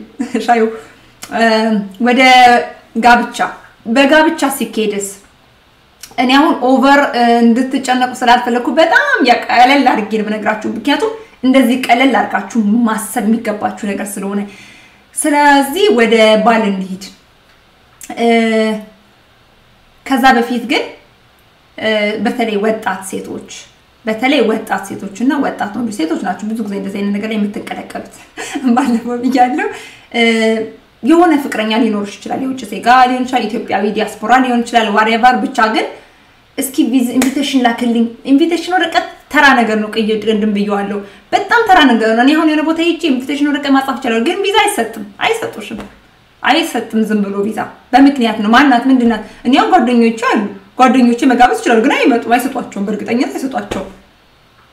ጓደኛዬ ለምሳሌ አውሮፓ በተደጋጋሚ መጥታ ከነበረ ብጋብዛት በእርግጠኝነት በአንዴ ይሰጧታል። ለምን ከዚህ ቀደም በተደጋጋሚ አውሮፓ መጥታ ታውቃለች። ስለዚህ እኔ ጋር ትንሽ ቆይታ እንድትመጣ ፈልጋለሁ፣ ጓደኛዬ ብቸኛ ተሰምቶኛል፣ whatever አብሬያት መሆን ፈልጋለሁ፣ ጓደኛዬ ማየት ፈልጋለሁ። okay ይሰጧታል። ለምን ብዙ ጊዜ አውሮፓ ስለተመላለሰች። እንደዚህ ከሆነ ይሰጣል። በተረፈ ግን guarantee የሆነ ነገር ሳይኖር አይሰጥም አይሰጥም። እንኳን አይደለም ወጣት ቀርቶ እናቴ አሁን ባለፈው መጥታ አንድ ቀን አሳልፋ ቢሆን ኑሮ የተመለሰችው ድጋሚ አሁን ብጠይቅ ላይሰጧት ይችላሉ። እንደዚህ አይነት ነገሮችም አሉ ቪዛን የሚያስከለክሉ። ወደ ባል እንመለስ እና በባል ደግሞ ሲኬድ ከዚህ ቀደም በተደጋጋሚ በ invitation በእጮኛ በስኮላርሺፕ በ visiting በምናምን በሁሉ ነገር ሞክረሽ ከዛ ደግሞ አግብተሽ ትገቢያለሽ። ኤምባሲ ማለት ነው ቤትሽ ሳይሆን። ከዛ እንደዚህ አይነት case በጣም ብዙ case አውቃለሁ እኔ። ስንት ሰው ቪዛ አስከልክላ አስከልክላ ይኸው አሁንም ኢትዮጵያ ያለች አውቃለሁ። ስንት ሰው ቪዛ እንዳስከለከለ ከስንት ሰው ጋር እየተጋባች ከስንት ሰው ጋር በምን በምን በጉብኝት በሉት በእጮኛ ያልሞከረችው ነገር የለም። እንደዚህ አይነት ደግሞ በቃ ይሄ በጣም ይሄ ከልክ ያለፈ መስገብገብን በሉት I don't know sorry፣ ግን እንደሱ አይነት ኬዞች በጣም አሉ እና ወደ ጋብቻ ስትመጡ real ም እንኳን ቢሆን ጋብቻችሁ ተቀባይነት አታገኙ። ምክንያቱም ከዚህ ቀደም ብዙ ጉድጓድ ቆፍራችኋል እና እዚህ ደግሞ ሌላ ጉድጓድ የምትቆፍሩ ነው የሚመስለው የምትቆፍር ነው የሚመስላቸው የምትቆፍሪ ወይም የምትቆፍር ነው የሚመስላቸው። ስለዚህ አሳማኝም ነው ደግሞ እዛ ቦታው ላይ ተቀምጣችሁ እዩት። እዛ ሰው ቦታ ላይ ኃላፊነት የተሰጠው ሰው ነው እና እንደዚህ አይነት ሰዎችን ቪዛ ትሰጣላችሁ እናንተስ ብትሆኑ አትሆኑም። ስለዚህ እንደዚህ አይነት ነገሮችን አስቡት። እሙስዊት እንዴት ነሽ? ብዙ አላመለጠሽም። ደርሰሻል ደርሰሻል። ሰው ዋናው በባል ነው። አሁን እንግዲህ በባል ቪዛ ሲጠየቅ መጀመሪያ ማወቅ የሚፈልጉት እነዚህ ሰዎች እነማን ናቸው ነው። የትኛውም ኤምባሲ እስከማውቀው ድረስ የትኛውም ሀገር ጋብቻ ከመፈጸሙ በፊት አንድ ሰው ጋብቻ ሊፈጽም ሲል ለምሳሌ አሁን ጀርመን ካልቀየሩት ህጉን ከዚህ ሀገር ላገባ ነው ብሎ ወረቀት ጨርሶ ያላገባ ይዞ አመልክቶ ማንን እንደሚያገባ አስመዝግቦ ነው የሚሄደው ያ ግለሰብ። ለምሳሌ ባለ እኔን ሊያገባ መጥቶ ሌላ ሰው ጉድ ፈላ። ሌላ ሰው ላግባ ሚል ኑሮ አይችልም ነበረ ማለት ነው። ገባችኋል? በዚህ መሀል የሰው ባል ለመቀማት የምትሞክሩ ቃላችሁ ተስፋ ቁረጡ። ሊያገባ የመጣ ወንድ እንዳትሞክሩ፣ አያዋጣም። ለእናንተም አይሆንም። ለዛ ሰው ለጨዋታ ነው የሚመጣው። ሰነድ ጨርሶ እነዚህ ነገሮች የሚመጡት እና ጋብቻው ይፈጸማል። ከጋብቻው በኋላ መጀመሪያ ላይ አይከለክሉትም። ላገባ ነው ይላል። okay ማንም ታገባው መብት ነው፣ ይሰጡታል። ከተጋቡ በኋላ ነው እንግዲህ process የሚሆነው። ከዛ በኋላ ቪዛ እሷ ደግሞ ታመለክታለች በተራዋ። እኔ ለምሳሌ ከተጋባም በኋላ እኔ ቪዛ አመለከትኩኝ። okay ሰው ጀርመን ኤምባሲ ልንገራችሁ፣ ባለቤቴ ሰነድ ላኪልኝ አለኝ። ሰነድ ላኩለት። ከዛ እዚህ የጠየቁትን ማለት ነው። ከዛ በኋላ ሂጅና ኤምባሲ እንደዚህ እንደዚህ ጠይቂያቸው አለኝ የሆነ ነገር። ከዛ ልጠይቃቸው ሲሄድ እሱ የሚሰጠው ወረቀት አለ ለማግባት የሚሰጠው I think እሱን ከዚህ ምን አሉት እሷ ናት ከዛ መውጣት ያለባት አሉት። እና እዛ ሄጄ ኤምባሲ ስጠይቃቸው አስታውሳለሁ። ሴትዮዋ ጠይም ሴትዮ ነበረች። ቪዛም ስጠይቅ ሳመለክት ለቪዛም interview ስገባ እሷ ነበረች ከጎን ነበረች የነበረችው። ምን እንዳደረግኩ እነግራቸዋለሁ በኋላ ላይ። እዛው ሴትየዋ ገብቼ ሰነዴን ሰጠኋት። መጀመሪያ check ያደርጉታል ሰነዱን ለመላክ ወደ ጀርመን ከመላኬ በፊት እነሱ ጋር አስገብቼ የሆነ stamp ይደረግበታል። I don't know እንዴት እንደሆነ ረሳሁት። ብቻ የሆነ ነገር ያደርጋሉ ሰነዱን እና check ያደርጉታል original መሆኑ ምናምን። ከዛ ጠየኳትኝና ሰነዱን ለእነሱ ነው የምሰጠው ወይንስ እኔን የሚልከው የሚለው ማለት ነው። ከዛ ሰነዱን ሰጠችኝና ስጠይቃት እኔ ነው እንደምታገቢው አለችኝ እና በጣም ነው የሚያናድዱ። አሁን ይሄ እኔ ነው የምታገቢው ምን አገናኙ? ሴትዮዋ እዛ የተቀመጠችው ልትሰራ ነው፣ ኃላፊነቷ ነው። ሌላ ማንን ልጠይቅ እችላለሁ? ዘበኛውን መቼም አልጠይቅም አይደለ? እሱ ጥበቃ ነው ስራው። ሴትዮዋ ዋና ቪዛ ክፍሏ ምናምን ወይ ደግሞ ነጯ እዛ ተሹማ ሀገሪቱ የሾመቻት ደግሞ ውስጥ ነው ያለችው። ስለዚህ እሷ ለማግባቢያ መሀል ላይ የተቀመጠችው እሷ ናት። የማታውቀውን ነገር ከኔ ተቀብላ ውስጥ መጠየቅ ነው እንጂ የነበረባት እንደዚህ በአንበሻቀጥ normally አልነበረባትም። ከዛ በጣም ተናደድኩኝ። እንዴ እዚህ ጋር የተቀመጥሽ ልትሰሪ አይደል? የመጣሁት አንቺ ጋር ነው ልጠይቅ የምችለው። ሌላ መጠይቀው ሰው ካለ አገናኚኝ አልኳት። የለም በቃ ይሄን ነው የምንሰራው እኛ። ተቀይሯል ተቀይሯል አለችኝ በኋላ ላይ ህጉ ማለት ነው። okay እኔ እንደዚህ ብሎኝ የመጣሁት አመሰግናለሁ ጥያት ወጣሁ። ከዛ ወረቀቱን ላኩለት እንዲህ ብላኛለች አልኩት። እሱ ሄዶ ጠየቀ። እንደው በጣም ተበሳጨ። ከዛ አዎ ተቀይሮ ነው ህጉ አሉት። እዚህ የሚጨርሰው ነገር ጨረሰ ማለት ነው። እና ተጋባንና ከዛ በኋላ ኤምባሲ መሄድ አያስፈልገንም። እሱን ራሱን ችሎ መሄድ ነበረበት። ልክ ጀርመን ኢትዮጵያ እንደመጣ ከመጋባታችን በፊት እዛ ኤምባሲ ወጥቶ ነበረ ወረቀት የሚያወጣው ከኤምባሲ የሚያወጣው ወረቀት ማለት ነው። የመጨረሻውን ወረቀት ከዛ ነበር የሚያወጣው። እሱን ገብቶ ወሰደ ራሱ። ምንም ከነጮቹ ጋር የተገናኘው ቀጥታ ነበርኩኝ፣ ግን ምንም እኔን አፌክት የሚያደርግ እዛ ውስጥ አልነበረም። እኔ የሚመለከት ጉዳይ አልነበረም። ከዛ በኋላ ግን ከተጋባን በኋላ የሚያዝናና ሌላ ነገር እነግራችኋለሁ። ኢትዮጵያ ስንጋባ የተፈጠረው ወደ መጨረሻ ላይ አስታውሱኝ እሺ ከፈለጋችሁ። እና ከተጋባን በኋላ ኤምባሲው እሱ የተጋባንበትን ሰነድ ይዞ መጥቶ እዚህ እዚህ አስገብቶ አስመዝግቦ ከዛ በኋላ ነው process የሚሆነው። እዛ መጨረስ አይችልም። እዛ እኔን ቪዛ ሊያመለክትልኝ አይችልም። ወይም ደግሞ ቪዛ ገብቼ ማመልከት አልችልም። ሰው ከተጋባን በኋላ እዚህ መጥቶ መጨረስ ነበረበት። ከዛ እሱ ጨርሶ ከዛ በኋላ ነው እኔ ለቪዛ ማመልከት የነበረብኝ እና ቀጠሮ ይዤ ለቪዛ ለማመልከት ማለት ነው form ኡን ምናምን ሞልቼ ገባሁኝ እና በደንብ አድምጡኝ እዚህ ጋር ልክ ገባሁኝና ቀጠሮዬ እስኪ ቀን ገባሁ። ብዙ ጊዜ ታክሲ ኮንትራት ይዘው በአጃቢ ታጅበው ምናምን ነው ኤምባሲ የሚሄዱ ሰዎች። በእውነት አሁን አሁን እየቀነሰ መጥቷል እንጂ ድሮ ድሮ በተለይ በጣም ነበር የሚያስቀው። እኔ ኤምባሲ አሜሪካ ኤምባሲ አካባቢ ስላደኩ በደንብ ነው የማውቀው። ሜዳ ይቻላል። እዛ ጋር ደግሞ እኛ ንግድ ቤት አለን እና በጣም ነው የሚያስቃችሁ። እኔ በ normal ታክሲ ነው የሄድኩት። ሰተት ሰተት እያልኩ ነው የሄድኩት። ቪዛ ፈልገሽ ነው ምናምን የሚያማከር ምናምን ይሉሻል። በጣም የሚያዋክቧችሁ። እዛም ጀርመን ኤምባሲ አካባቢ አሉ፣ ብዙ አይደሉም እንጂ እንደ አሜሪካን ኤምባሲ እና ጣጣው ብዙ ነው። እኛ በጣም ስለምናካብደው ነው እንጂ ያን ያህል ምንም የተለየ ከት የሚካበድ ነገር የለውም honestly። ከዛ በኋላ ሄድኩኝ፣ ገባሁ፣ ጠበቅኩኝ፣ ገባሁ ላመልክት ማለት ነው። እኔ መሰለኝ just የዛን ቀን interview የሚያደርጉኝ መሰለኝ ነው። ገባሁ ስገባ አበሻ ነው ያናገረኝ። መስኮት ላይ ቁጭ አልኩ፣ ጠበቅኩኝ። አበሻ አናገረኝ እና ሰነድ ጠየቀኝ፣ ሰጠሁት እና እሱ ይጠይቀኝ ጀመር። የተዋወቃችሁ ምናምን ማለት ነው። እሱ ነው እንደሚጨርሰው ጉዳዩን አልኩኝ። okay ከዛ የተወሰነ ነገሮች ነገርኩት። ከዛ የሆነ ሰዓት ላይ ምን አለኝ መሰላችሁ? አበሻ ጠልተሽ ነው እንዴ እሱን ያገባሽው ፈረንጅ ያገባሽው አለኝ። አንተን ይመለከታል አልኩት። አይ ምናምን አለ። ከዛ ተናደደ እሱ ማለት ነው። እኔም ተናድጄ የመለስኩለት። of course ያናድዳል ደግሞ ምን አገባው ይሄ አይመለከተውም ማለት እና ከዛ ይጀምራል መነጃነጅ፣ ከዛ ይጀምራል እና ጥሩ ሰው ሊገጥማችሁ ይችላል። አጋጣሚ ነው ግን መጥፎ የመሆን መብት የለውም። ሲጀመር መክሰስ እችላለሁኝ፣ ምክንያቱም መብቴን ተጋፍቶ የማይመለከተውን ነገር ነው የተቀባጠረ ያለው። ግን አንዳንድ ጊዜ የአእምሯችሁን ለመፈታተን የመሞከር ነገሮች አሉ። ዝም ብሎ enjoy ያደርጋል እሱ ገብቷችኋል። በቃ ይሄ ምንም የሚጠቅመው ነገር አይደለም፣ አድርግ ተብሎ አይደለም። ይሄ አጋጠ ወጥነት መቼም አይፈቀድለትም ግን ይጨማለቃሉ። አንዳንድ ሰዎች በቃ ራሳቸውን ያዝናናሉ። በዛ በሚመጣው ሰው ራሳቸውን ያዝናናሉ። ኤምባሲ አካባቢዎች የሚሰሩ ሰዎች እና ከዛ በኋላ እየጠየቀ የሆነ ቀን ዓመተ ምሕረቶቹንና ቀናቶቹን ይነግረኛል እና የአበሻና የፈረንጅ ዓመተ ምሕረቶች አሉ አይደል?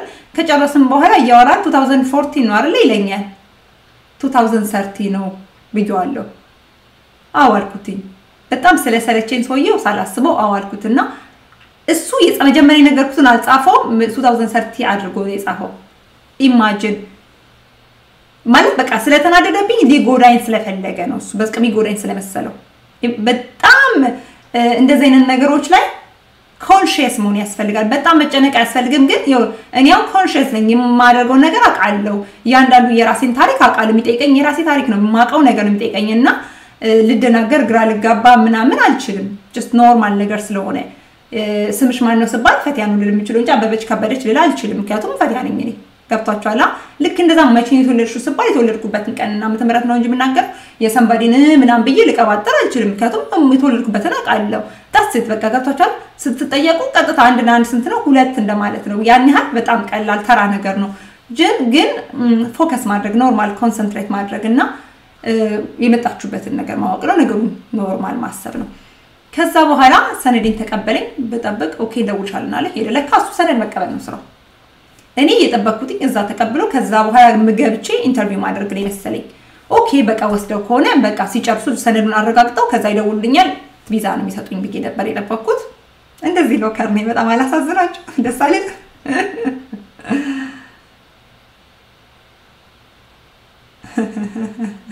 መሰረት አለ። እባክሽ ነጭ አግብታችሁ ከሀገራችሁ አትውጡ ብለሽ ምከሪኝ። እንደሱ ብዬ መምከር አልችልም።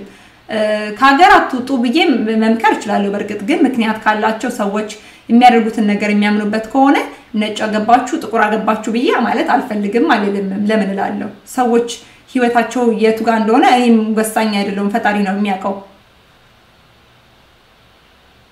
ሶሪ እንደሱ ማለት አልችልም። መስዬ ቆንጆ እንደሱ ማለት አልችልም። ምክንያቱም ሁሉም ሰው የተጻፈለትን ነው የሚኖረው።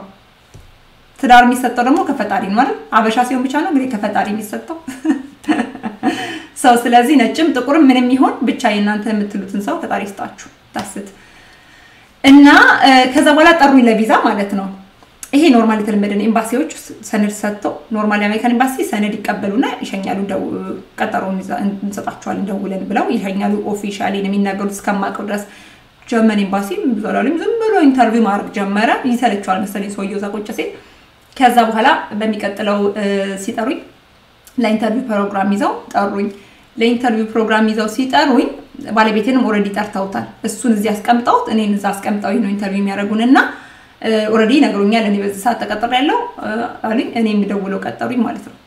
ከዛ እኔም ቀጠሩኝ አልኩት። ከዛ ሄድን በተመሳሳይ ሰዓት ማለት ነው። ከዚህ ጋር ይጀምራል ጥያቄው። ገባው ውስጥ ማለት ነው። ውስጥ ነው የምትገቡት። ነጮች ነበሩ። አጋጣሚ ሆኖ interview የምታደርገኝ ሴትዮ የዚህ ከተማ ነዋሪ ነበረች። የሚገርማችሁ ነገር እዚህ እኛ ከተማ እኛ ቅርብ የሆነው ከተማ ነዋሪ ነበረች። እዚህ የምትሰራ ሰው ነበረች። ከዚህ ነው ተሾማ የሄደችው። የሚገርመው ነገር አምባሳደር አይደለችም፣ ግን ኃላፊ የዛ ክፍል ኃላፊ እና ስናወራ የተግባባ ነው። ስናወራ ይኸውላችሁ እንግሊዘኛዬ እኔ አሪፍ የሚባል አይደለም። ጥሩ እግባባለሁ፣ መግባባት እችላለሁኝ። ይዝ በዝ እያልኩኝ መግባባት አያቅተኝም። ግን በጣም ጥሩ እንግሊዘኛ ተናጋሪ ነኝ ምናምን ብዬ በፍጹም አላስብም። even ጀርመንኛም ጥሩ ተናጋሪ ነኝ ብዬ አላስብም። እግባባለሁ እንጂ ማለት ነው። እኔ የማምነው የማውቀውን ነገር መናገር እችላለሁ። የማውቀውን ቃላውን የማውቀውን ቃል ራሴ በደንብ መግለጽ እችላለሁ። ካጣው ቃል በምንም በምን ተዟዙሬ ቢሆን ራሴን express ማድረግ እችላለሁ እና ለመናገር አልፈራም። ሰው ይሄ ጉዳይ ስለ ቪዛ ነው፣ ስለ እኔ አይደለም። እኔ የምነግራችሁ እኔ ውስጥ የምትፈልጉትን ነገር እንድታገኙ ነው እኔ ታሪክ ውስጥ እንጂ እኔ ስለ ራሴ ማውራት ፍላጎት ኖሮኝ አይደለም። okay ወገኖቼ እና ገባን ውስጥ ቁጭ ካልን በኋላ interview አድራጊዋ በምንኛ በእንግሊዝኛ ይሁንልሽ ወይንስ በአማርኛ አለችኝ ስትለኝ ወይም በጀርመንኛም እንችላለን አለችኝ። ጀርመናዊ ነች፣ ጀርመንኛ ታወራለች። ጀርመንኛ ያን ያህል አይደለሁም፣ ትምህርት ቤት እየተማርኩ ነው፣ ገና እኔ A1 ነው የተፈተንኩት፣ ግን በእንግሊዝኛ መግባባት እንችላለን። መግባባት ስለምንችል ወይም ከባለቤቴ ጋር በእንግሊዝኛ ስለመግባባ እኔና አንቺ በእንግሊዝኛ ልንግባባ እንችላለን። ስለዚህ አስተርጓሚ አያስፈልገኝም አልፈልግም አልኳት። አስተርጓሚዋ ማነች? ያቺ ሴትዮ ናት። እኔ እኔ ነው ታገቢ ያለችኝ ሴትዮ። ስትገቡ መስኮት ላይ መጀመሪያ ሰነድ ምናምን የምትቀበለዋ ሴትዮ ማለት ነች። so ከዛ በኋላ ማውራት ጀመርን ማለት ነው። እና ስናወራ ለአስተርጓሚው አይደለም ማወራው። ልብ በሉ እንደዚህ አይነት ነገር ለአንዳንድ ጊዜ modeling ላይ መስራት ጠቅሞኛል፣ መማሪ ምናምን ጠቅሞኛል ይመስለኛል። ሰዎችን አይን ማየት እና ማውራት ብዙ ጊዜ ሳወራ ካሜራ እያየሁ ነው ማወራው። ልብ ብላችሁ ከሆነ ለዛ ነው ብዙ ሰዎች ከኔ ጋር የምታወሪ ይመስለኛል የምትሉት። ሴትዮዋ እዚህ ጋር ቁጭ ብላለች፣ አስተርጓሚዋ። እኔ እንደዚህ የተቀመጥኩት ዋና ኃላፊዋ እሷ አለች እና ወንበሬን አስተካክዬ ወደ ዋናዋ ነው። ምክንያቱም ቀጥታ ነው የምነጋገረው፣ በአስተርጓሚ አይደለም። even በአስተርጓሚ እንኳን ብታወሩ ስታወሩ ስትናገሩ የምትጠይቃችሁን ሴትዮ ስታወራላችሁ ስትተረጉምላችሁ እሷን መስማት ስትመልሱ ግን ለዚች ለነጯ ነው አይናችሁ ወይም ነጯ ስላችሁ ያው የሚያወራችሁ ሰው ዋናው ኃላፊ ጥቁርም ሊሆን ይችላል whatever ግን እናንተ ጉዳዩ ከሚመለከተው ሰው ጋር ቀጥታ ነው ውይይታችሁ መሆን ያለበት እና eye contact መሆን ያለበት ጉዳዩን ከእናንተ ጋር ቀጥታ ከሚያጠራው ሰው ጋር ነው እና ሴትዮዋን አስወጣኋት ማለት ነው። አልወጣችም ቁጭ አለች። እልህም ይዟት ነው መሰለኝ። I don't know ከዛ እኔ ውይይቴን ቀጠልኩ ማለት ጥያቄውን ጠይቀኝ ጀመረ normal ጥያቄ ነው የምጠይቁት የትኛውም ኤምባሲ ሄዳችሁ እነዚህን ጥያቄዎች ለምሳሌ ዝርዝር ልትገዙ ትችላላችሁ። በሁለት መቶ ብር በዛን ሰዓት ማለት ነው። አሜሪካ ኤምባሲ አካባቢ ለምሳሌ ገደሉኝ ዛሬ ልጆቹ ሲያገኙኝ ይገሉኛል። እውነት ይገሉኛል ሲያገኙኝ። ይቅርታ ይቅርታ። actually በጣም በደንብ advise ያደርጓቸዋል አሜሪካን ኤምባሲ አካባቢ ልጆች የሰፈር ልጆች ናቸው ብዙዎቹ እውነት ለመናገር ስትሄዱ advise ያደርጓቸዋል ምን ማድረግ በደንብ ነው የሚያውቁት። ሀጂ ነፍሱን የማረው የለም በህይወት ብለውኛል አሁን። ብዙ ልጆች አሉ እዛ አካባቢ ያሉ ፎርም የሚሞሉ ምናምን ማለት ነው። advise ያደርጓቸዋል። ያለውን ነገር ይነግሯቸዋል በጣም። እኔ ከምነግራችሁ more detail በሆነ መልኩ ግን መግዛት ትችላላችሁ። ምን ምን ጥያቄ ሊመጡ እንደሚችሉ ምናምናምን እንደው hint ሊሆናችሁ የሚችል ለምሳሌ እንደዚህ አይነት advice ኦቹ ማግኘት ትችላላችሁ እዛ አካባቢ ግን ያው የሰማው ስላደግኩም ነው መሰለኝ። Anyways ወደዛ አልገባም። ከሴትዮዋ ጋር ቀጥታ ውይይቴን ጀመርኩኝ ማለት ነው። እና የሚጠይቁት ጥያቄዎች ምንድን ነው? እኔ ሚስት ሆኜ ነው የቀረብኩትኝ። already ሰነድ ላይ ሰፍሮ ያለው ሚስት መሆኔን እኔን ሳያዩ አይተው ማረጋገጥ ይችላሉ። already ሚስት እንደምሆን already ቀድሞ አውቀዋል አይደለ? እኔን ሊያገባ እንደመጣ ያውቁ ነበረ። እንደተጋባንም ያውቃሉ። ከዛ በኋላ ለምንድን ነው መጠየቅ የሚያስፈልጋችሁ? Normally ሌላ ሀገር አሁን ለምሳሌ አንድ ጀርመናዊ እና አሜሪካዊ ቢጋቡ በእርግጠኝነት እንደዚህ አይነት process የለውም፣ ወዲያው ነው የሚያልቀው። ለምን? ጥገኛ ስላልሆነ የትኛውም አሜሪካዊም ጀርመናዊም ጥገኛ አይደለም። ሀገራቸው ምን ጉዳይ የጎደለባቸው ነገር የለም። እኛ ግን በኢኮኖሚ ደረቅ ደረቅ የሚባላል እንዳይባል ምን ነው ጉሮሮ ይደረቃል። እኛ ግን በኢኮኖሚ ዝቅተኛ የምንባል ሀገሮች ስለሆነ የተሻለ ስራ የተሻለ ህይወት ፍለጋ የምናውቀው ነገር ነው። እሱን ስለሚያውቁ እንግዲህ ማጥራት ይፈልጋሉ ማለት ነው። ያው ብዙ አይነት case ኦች ደግሞ አሉ ጋብቻም ቢሆኑ ስለዚህ ትክክለኛ ጋብቻ መሆን አለመሆኑን ማጣራት ይፈልጋሉ። እንዴት ተዋወቃችሁ? የት ተዋወቃችሁ? እንደዚህ እንደዚህ አይነት ነገሮች ወሳኝ ወሳኝ። አንዳንድ ጊዜ ትንሽ personal የሚባል ጥያቄ ሊጠይቋችሁ ይችላሉ። ትንሽ ማለት ነው ማለት እኔ አሁን ትንሽ personal የሚባል ጥያቄ ጠይቃኛለች፣ ግን sorry አለችኝ ማለት በጣም አፈረች ለራሷ እንደዚህ አይነት ጥያቄ ስለጠየቀች። ያን ያህል ነውር የሚያስብል ጥያቄ አለም። እውነት ለመናገር የጠየቀችኝ ምን አይነት አስፈላላተኛችሁ ምን አይነት የሚባል የሚባል ወይም በወሬ እንደምሰሙት እንደሱ አይነት ጥያቄ አለ የሚጠይቋችሁ። actually ግን personal የሚመስል አይነት ጥያቄ ገብቷችኋል። እንደዚህ አይነት ነገር ባትጠይቁ የሚመረጥ ብትጠይቁ ምንም ያልሆነ ግን ባትጠይቁ የሚመረጥ ይሄ ይሄ ብዬ አልነግራችሁም የሚባል አይነት አንድ ጥያቄ እስከማስታውሰው ጠይቀኛለች እና አምሳው እዚህ ወረቀቱ ላይ ስለተቀመጠ ነው። አይ okay እረዳሻለሁ አልኳት። ከዛ በኋላ ውይይታችን ቀጠለ። የት ተዋወቃችሁ ምናምን የሚለውን ነገር አወራን። ምን ትወጃለሽ? common የሚያደርጋችሁ ለምሳሌ ምንድን ነው የምትወዱት? ስፖርት ምን ይወዳል? ምንድን ነው አንቺስ common የሚያደርጋችሁ ነገር? ለምሳሌ ባልሽ ስለ አንቺ ቢጠይቅ ምን ሊል ይችላል? እንደዚህ አይነት ጥያቄዎች ገብቷችኋላ? በቃ የልደት ቀኑ፣ ስለ ቤተሰቦቹ ለምሳሌ እናትና አባቱ ስማቸው ማን ነው ተብያለሁ እስከማስታውሰው ድረስ እህትና ወንድሞቹ ስማቸውን ጠይቀውኝ ነበረ እና እንደውም የእህቶቹን የእህቶቹን የቤተሰብ ስም አላውቅም። እኔ ከተጋቡ በኋላ ሌላ ስም ስለሚኖራቸው ማለት ነው። አጋጣሚ የሆነ አንደኛ normal የቤተሰብ ስሟን የያዘችው እንደኔ ማለት ነው። አንደኛዋ ደግሞ ቀይራለች እና እሱን አላውቅም። ስማቸውን ግን አውቃለሁ። already በወሬ በወሬ ስላወራን ከሱ ጋር ስለነገረኝ አውቃለሁ። አጥንቼ ግን አይደለም just normal ሲጠይቀኝ በፎቷቸውንም አይቻለው፣ ስማቸውንም አውርቻቸዋለሁ በስልክ ምናምን እና እነሱ ምስል ነገሮች ጠየቁኝ ማለት ነው። ሰው መለስኩላት እንደዚህ የተለየ ነገር ስለ ሰርጋችን እንዴት እንደነበረ ጠየቀችኝ። እሱ መለስኩላት እና ለምሳሌ ሰርግና መልስ አለ። ሁለት ጊዜ ነው የሚደገሰው ድግስ የሚለውን ነገር አስረዷት እና የቤቱን እንደዚህ ምናምን የሚለውን ነገር ማን የደገሰው እንደዚህ ማወቅ ይፈልጋሉ። ቀለበቱን ማን የገዛው? ወንድ ነው መግዛት ያለበት ኢትዮጵያ ውስጥ እንዴ ወንድ ነው መግዛት ያለበት ነው ያልኩት። ወንዱ ነው የሚገዛው ግዴታ ነው። እነሱ ጋር እንሰዋለ የወንዱን ሴቷ የሴቷን ወንዱ ነው cultural difference ስላለ ማለት ቢሆንም ግን እኛ ሀገር ወንድ ነው የሚገዛው እሱ ነው የገዛው። ምንም እዚህ ላይ መሳቀቅም መሸማቀቅ የሚያስፈልገው ነገር አለም fact ኡ ስለሆነ ማለት ነው። ከዛ በኋላ የሰርግና የመልሱን ጉዳይ ሴትዮዋ እንደውም ትንሽ እንትን አለች፣ መሀል ገብታ ለማስረዳት ምናምን ነገር ሞከረች። እየተናደድኩባት የቢሮዋ ሴትዮ እዛ የምትሰራው ረዳቷ እና እየሰማሽ ከሆነ እንግዲህ አዝናለሁ። በወቅቱ በጣም ተበሳጭብሽ ነበረ። አሁንም ተበሳጭብሻለሁ። እንደዚህ አይነት ስተታት ስሪ። እንደዚህ አይነት ቦታ የምትሰሩ ሰዎች የግድ ስራችሁን ጎበዝ ለመባል ሰው ማሳቀቅ አያስፈልጋችሁ። ስራችሁን በትክክል ከሰራችሁ በቂ ነው። የተለየ favor መስራት አይጠበቅባችሁም። ግን ሰው አታሳፍሩ፣ አታሳቅቁ፣ ደስ አታበሻቅጡ። የምትሰሙኝ ከሆነ በዚህ አጋጣሚ እና እንደዚህ አይነት ጥያቄዎች ጠይቆችኝ እና በጣም ወሳኝ ጥያቄ ምንድን ነው የጠየቀችኝ? ሌላ ለምሳሌ መቼ ነው ለመጨረሻ ጊዜ የተደዋወላችሁት? ለምሳሌ ባለቤቴን Skype ምናምን ብለውት ነበረ። Skype አናወራም እኛ ኢሜይል እንጻጻፍ ነበረ። ከስንት አንዴ ከስንት አንዴ መጨረሻ አካባቢ ከተጋባም በኋላ አስታውሳለሁ በ Viber ምናምን እንደዋወል ነበር። video call አልፎ አልፎ እንደ weekend ላይ እኔ ጊዜ ሲኖረኝ እኔም የራሴ ስራ ያለኝ ሰው ነኝ፣ እሱም ስራ ያለው ቀኑ ሙሉ እኔ እና እሱ Skype ልናደርግም የምንችልበት ሁኔታ የለም። ያ ይሄ ማቅረብ ስካይፕ ይጠይቃል እና የግድ ስካይፕ ማድረግ አለብን የሚባል ታሪክ የለም። ሰው መጀመሪያ ለመኖር መስራት አለበት። ጊዜ ሲተርፍ ነው ራሱ ዝም ብሎ ስካይፕ ሲያደርግ የሚውልም ራሱ ስራ ፈት ነው።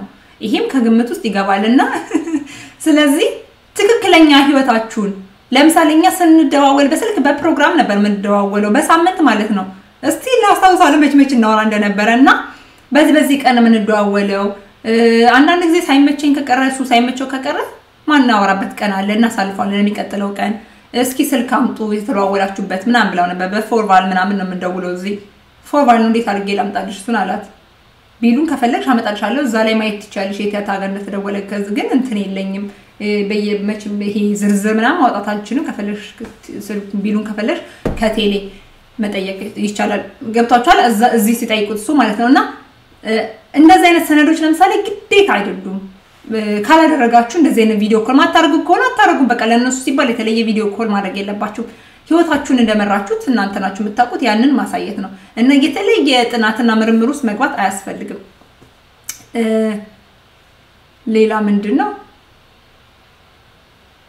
ያ አንዳንድ በቃላችሁ ማታውቋቸው ነገሮች ካሉ ምናልባት ለምሳሌ የኔ እህቶች ወንድሞችን ብዙ ነን እኛ። ስለዚህ ስማቸውን ሁሉንም ማስታወስ አይችልም ነበረ እና ማን ነበረ እስኪ ትንሿ ጠፋችብኝ ምናምን ላይ ነበር በመሀል በ normal ወሬ መሀል ማለት ነው ኤምባሲ ልንገባ አካባቢ ግን አንተ ጠፋችብኝ ምናምን ትለኛለህ፣ ይጠፋብሃል። እነዚህ ማወቅ አለብን፣ ምክንያቱም እህቶቼ ናቸው።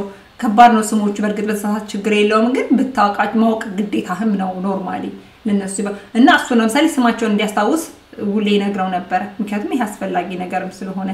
በተረፈ ግን የተለየ ጥናት ያደረግነው ነገር የለም። just በዛ ልክ አወራን። ከዛ በኋላ የሚጠይቁትን ጠይቁ። አሁን ለመጨረሻ ጊዜ የተደዋውላችሁት መቼ ነው አለች። ለመጨረሻ ጊዜ አሁን ኤምባሲ ከመግባቴ በፊት ምናልባት ከግማሽ ሰዓት በፊት ምክንያቱም መጠበቅ ነበረብኝ እስከሚጠሩ ድረስ የመጨረሻ ጊዜ ጠጠራን ያወራ ነው ያኔ ነው። ምን አለሽ አለችኝ። እየሄደ ነው እሱም ላንድራታምስ ላንድራታምስ የሚባላል እዚህ እዛ ነው ኢንተር የሚደረገው እሱ እየጠሩት የነበረው እና እንደዛ እየሄድኩ ነው አለኝ ምናምን አልኳቲ ማለት ነው እና ከዛ ነው ደግሞ እኔም ከዛ ከተማ የመጣሁት እሱ ሲነግረኝ ሙሉ ነው የነገረኝ እና እሱን እኔም የተነገረኝ አልኳት ማለት ነው ቦታውን። ከዛ እኔም ከዛ አካባቢ ነው የመጣሁት ምናምን ብላ በዛ አወራን።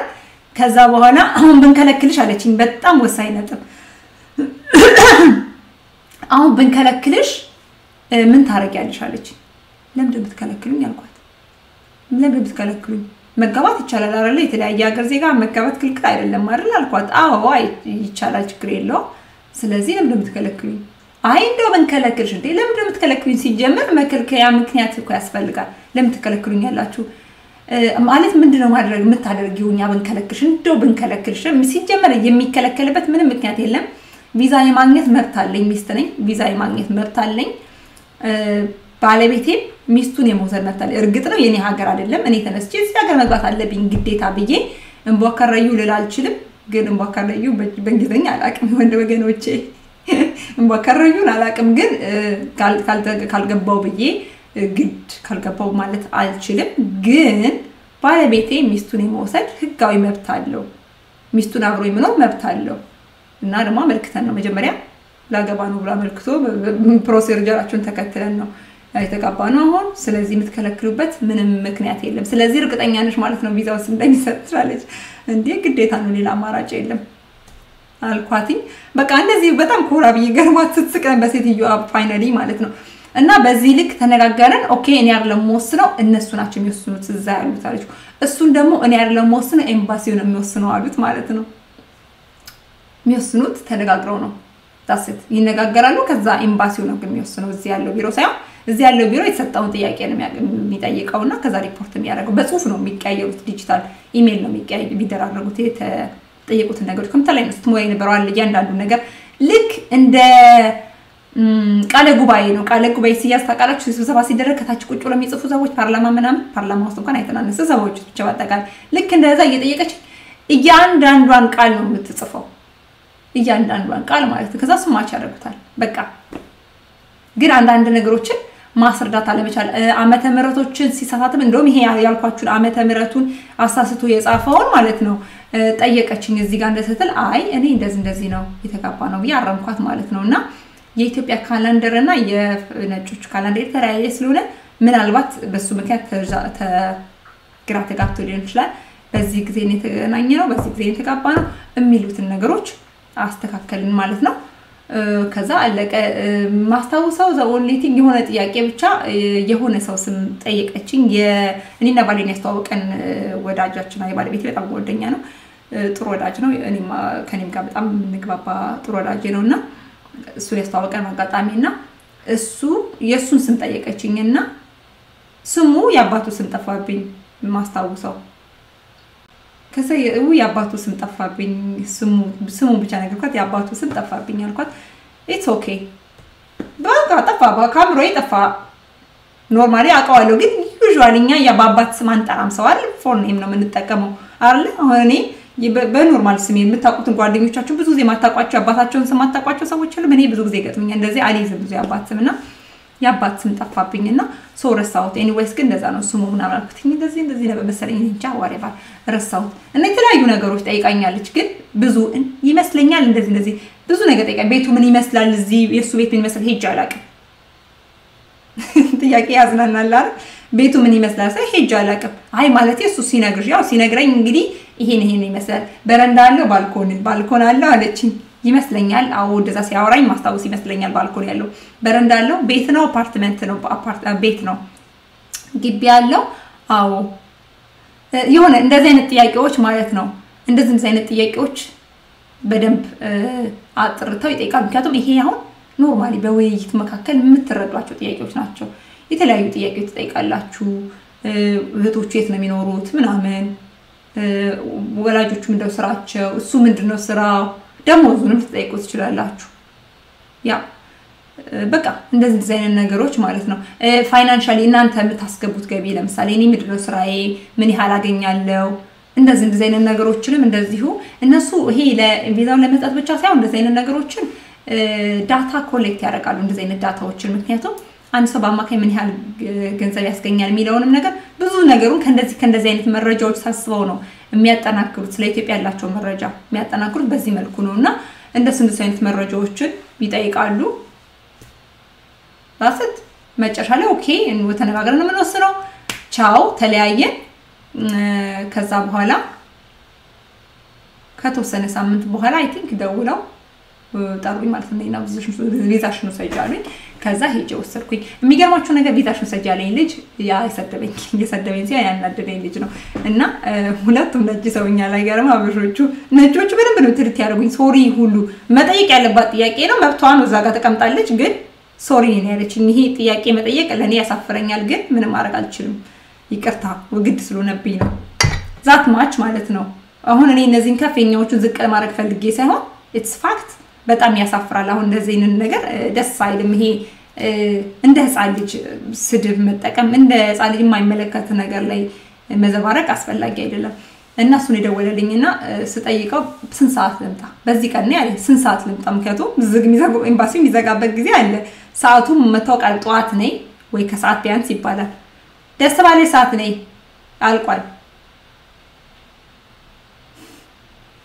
እሺ በቃ ሰውየውም መጀመሪያም ስላየሁት ማውራት ከዛ በላይ አያስፈልግም። okay ዘጋው። ከዛ በኋላ ሄጄ ቪዛዬን ወሰድኩኝ እና በዚህ መልኩ አለቀላችኋለሁ እና አሁን ጀርመን ያለሁት እና ምን ልላችሁ ፈልጌ መሰላችሁ እንደዚህ ኤምባሲ ሲገባ የሚጠየቁ ጥያቄዎች የተለዩ ከማርስ የሚመጡ ከ space የመጡ ወይ የሆነ የተለየ ነገር አይደለም።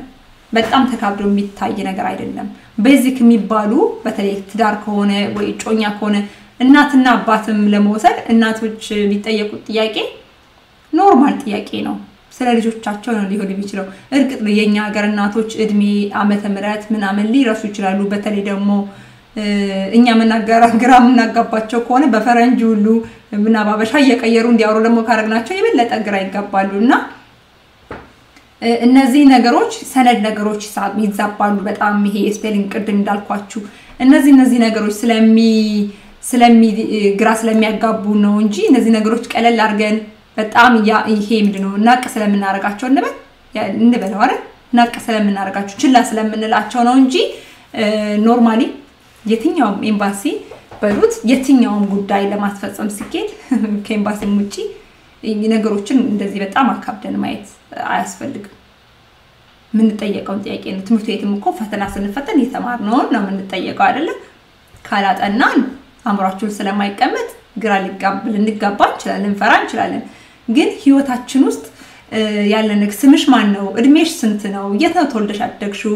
የትምህርት ደረጃሽ ምን ይመስላል? ስራሽ ምን ይመስላል? ጓደኞችሽ እነማን ናቸው? ቤተሰቦችሽ እነማን ናቸው? እንደዚህ አይነት ጥያቄዎችን ሰው ሲጠይቀን መቼም ሁለቴ የምናስብበት ምንም ምክንያት ያለ አይመስለኝም። already አእምሯችሁ ውስጥ ያለ ነገር ነው። ጥያቄያችንን በትክክል እስከተረዳን ድረስ ሌላው ያልገባን ነገር ካለ የቋንቋ ልዩነት ካለ የቋንቋ አለመግባባት ካለ መጠየቅ ደግሞ ደጋግሞ መጠየቅ ይቻላል። ምንም ችግር የለውም። የሆነ ጊዜ ላይ ትንሽ አሳፈራ ያልኳችሁ ጥያቄ ትንሽ personal ነው፣ አሳፋሪ እንኳን አይደለም። personal ጥያቄ ጠይቃኝ ላይ እኔ expectation ኤ እንደዚህ አይነት ጥያቄ ትጠይቀኛለች ብዬ ስላልገመትኩኝ ወይም ደግሞ አስፈላጊ ነው ብዬ ስላልገመትኩ ጥያቄ የተረዳኋት አጋጣሚ ቃሉ የሚያሳስት ቃል ነበረ እና የተረዳኋት በሌላ መልኩ ነው እና መልስላታለሁ። ጠይቃኝ መልስላታለሁ። አይ አይደለም እንደዚህ ሳይሆን እንዲህ ነው ትለኛለች እና እሷ ደግሞ ጀርመናዊ ናት፣ እንግሊዛዊም አይደለችም actually። ስለዚህ በደንብም pronounce ላታደርጉ። በነገራችን ጎበዞች ናቸው ጀርመኖች፣ ካወሩ በደንብ ነው ማውራት የሚፈልጉት። አለበለዛ ለዛ ነው ብዙ ሰዎች ጀርመኖች መናገር የማይፈልጉት እንግሊዝኛ ያፍራሉ። በትክክል ሁሉ ነገር perfection ስለሚወዱ ማለት ነው። እና ያው spelling የ pronunciation ችግር ስለነበረ አልተረዳኋትም እና በአማርኛ ነገረችኝ። እሷ እያለችሽ ያለችው ምናምን okay ከዛ ከዛ okay ምናምን ስል ይቅርታ አለች። ደነገጠች። ይቅርታ እኔ ግድ ሆነብኝ ነው ልትለው ራሱ እንዴት እንደጨነቃት ልጅቷ ወጣት ነበረች። ለማንኛውም በዚህ ልክ ተጠናቀቀና ቪዛውን ወስጄ አሁን እዚህ ነው ያለሁት እና የትኛውም ሀገር ኤምባሲ ስትገቡ ህጋዊ ቪዛ የማመልከቻ መንገዳችሁ ህጋዊ መሆን አለበት። ህጋዊ መሆናችሁን ማረጋገጥ አለባችሁ። ለህጋዊነቱ ደግሞ የሚረዳ የሚጠበቅባችሁ ሰነዶች አሉ። በጣም ወሳኝ የሚባሉት ሰነዶች ማለት ነው። እነሱን ማሟላታችሁን እርግጠኛ መሆን አለባችሁ። እነሱን ካሟላችሁ ፕሮሲጀሩን ካሟላችሁ እና ጊዜያችሁንም በተለይ ደግሞ የጉብኝት ምናምን ይሄ ቤተሰብ ጥያቄ ከሆነ በተለይ እናቶች ጊዜያችሁ በቂ ከሆነ ያልተጣበበ ጊዜ ይዛችሁ ለመሄድ መሞከር አለባችሁ። ነገሮች በጣም ጠባብ ከሆኑ መጓዝ እንደማትችሉ ስለሚያውቁ አይሰጧችሁም። የመከልከል እድላቸው ከፍ ይላል። ሰው እሱን ማሰብ ያስፈልጋል። በተረፈ ግን የተለየ መካበድ ያለበት ነገር አለ ብዬ አላስብም። የለም፣ አያስፈልግም። ስለዚህ አሁን ከታች ጥያቄዎቻችሁን እያየሁኝ የእናንተን አስተያየቶች እመልሳለሁ ማለት ነው። እስኪ ለወጣ ነው አክቹዋሊ ወዲያ ወጣለሁኝ።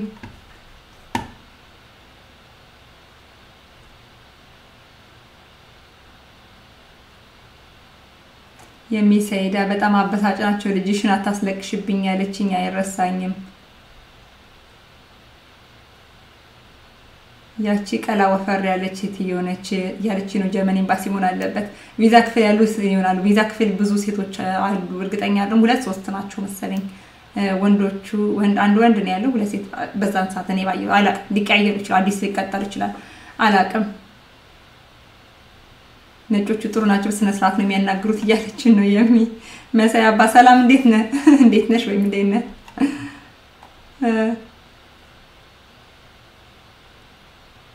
ጥያቄ ትዘጊያለሽ።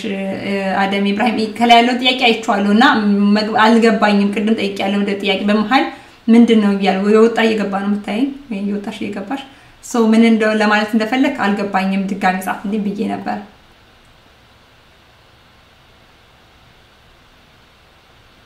ብርቅነሽ ኤም እንዴት ነሽ? አትወፍሪም ወይ እያለች ነው። የቪዛ ጉዳይ እያሳስበኝ ነው የከሰውት። ስቀልድ ነው።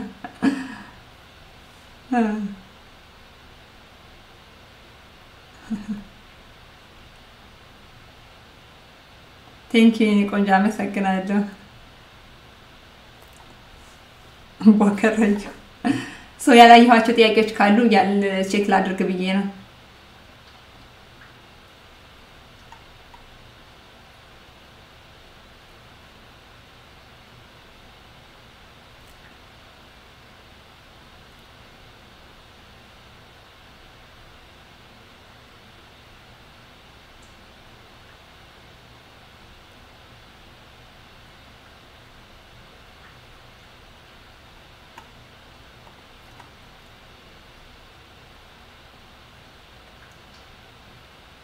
እናንተ ስትወያዩ የኔ ጥያቄ የመሰለኝ ግራ እየተጋባው ነው። ግን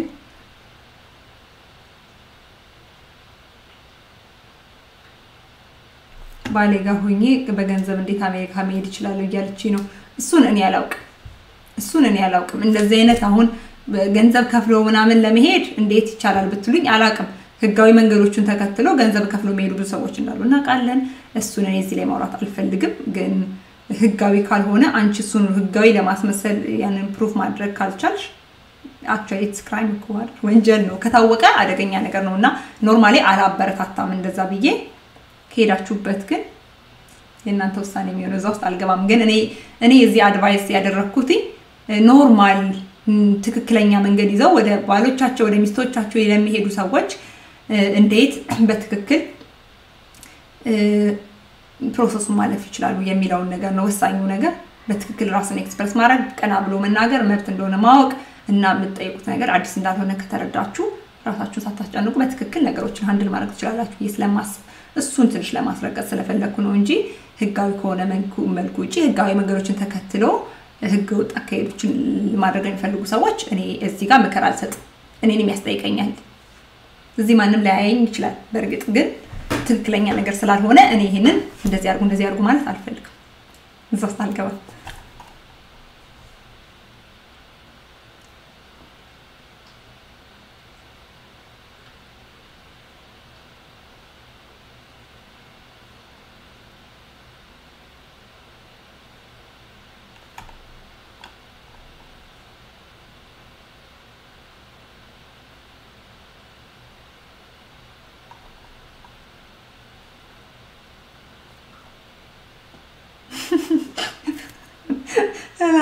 አለች ብላለች። ጀርመን ኤምባሲ ልጄ ህፃን ሆኖ ትንሽ አሟት ተነጫንጫ ነበር ይነጫነጭ ነበር ልጄ ልጅሽ ናት ታስለቅሽብኝ አለችኝ። በጣም ተበሳጭቼ ጥዬ ልወጣ ስል ዘበኛ እሷ ጋር አትሂጂ መጥፎ ነች ወንዱ ጋር ሂጂ ብለው መለሱኝ። እኔ ደግሞ ወንዱን ያስቀየመኝ አንደኛው አክቹዋሊ እንደዚህ አይነት ከልጅ ጋር ማሰፋጣ ደስ አይልም፣ በጣም ነው የሚረብሸው። እኔ ግን ጥያል በጣም የፈለገ ትከልክለኝ ወንድ እኮ እሷ የመከልከል ሲጀምር መብት የላትም። ይኸውላችሁ አሁን ሰውየው ፈርዘር ቢሄድ ኖሮ ሆነስሊ እንጣላ ነበር ከኔ ጋር በቃ እንመላለስ ነበረ። ግን እሱም አልሄደም። ያንተ ጉዳይ ነው ስለው አቆመ መሄዱን። ዝም ብሎ ጉዳይ ግን ስለተናደደብኝ ገብቷችኋላ ወረቀት ላይ ዓመተ ምሕረቱን አሳስቶ ጻፈ እንጂ ፈርዘር አልሄደም። ምክንያቱም መወሰን አይችሉም እነዚህ ሰዎች። ሲጀመር ይውላችሁ የትኛውም ኤምባሲ ለምሳሌ የኢትዮጵያ ኤምባሲ ጀርመን ያለው የኢትዮጵያ ኤምባሲ ብትሄዱና ቪዛ ብታመለክቱ የኢትዮጵያ ኤምባሲ ነው የኢትዮጵያ ኤምባሲ ነው። ኢትዮጵያውያን ናቸው እዛ ቦታ ቁጭ ብለው ቪዛውን የሚወስኑት እንጂ ጀርመናዊያን አይደሉም። አንድ ጀርመናዊ ጥቁር ስለማይወድ እዛ የተቀጠረ ጀርመናዊ ሊኖር ይችላል። አንቺ ቪዛ አይሰጥሽም ሊልሽ አይችልም። ኢትዮጵያውያኑ ጋር ነው የምትሄጂው። ወይም ደግሞ okay የኢትዮጵያ ኤምባሲ ውስጥ ለጥቁር አንድ ነጭ ተቀጥሮ አይሆንም። አንድ ጀርመናዊ ይመጣና እዛ የተቀጠረ ጀርመናዊ ወይም somebody ጀርመናዊ ሊሆን ይችላል። whatever አንድ ዜጋ አንድ ሰው መጥቶ ቪዛ ለመጠየቅ ቢመጣ ኢትዮጵያ ኤምባሲ ውስጥ ሰራተኛው ጀርመናዊ ቢሆን ጀርመናዊ ቪዛውን የመወሰን መብት የለውም፣ አይሰጠውም። ያንን እንደዚህ አይነት ስልጣን ለሌሎች ዜጎች አይሰጥም። ይሄ logical የሆነ አካሄድ ነው አይደለ? ስለዚህ የትኛውም ኤምባሲ ውስጥ ውሳኔ የሚወስኑት የዛ ሀገር ዜጎች ከዛ ሀገር ተሹሞ የመጡት ኃላፊነት ያለባቸው ሰዎች ናቸው። ሲጀመር ደግሞ ከሰራተኞቹ ሁሉ ሁሉም አይደለም የሚወስኑት። ያንን የሚመለከተው የቪዛ ኃላፊ አለ። አምባሳደሩም እኮ ላይመለከተው ይችላል ይህንን ማድረግ።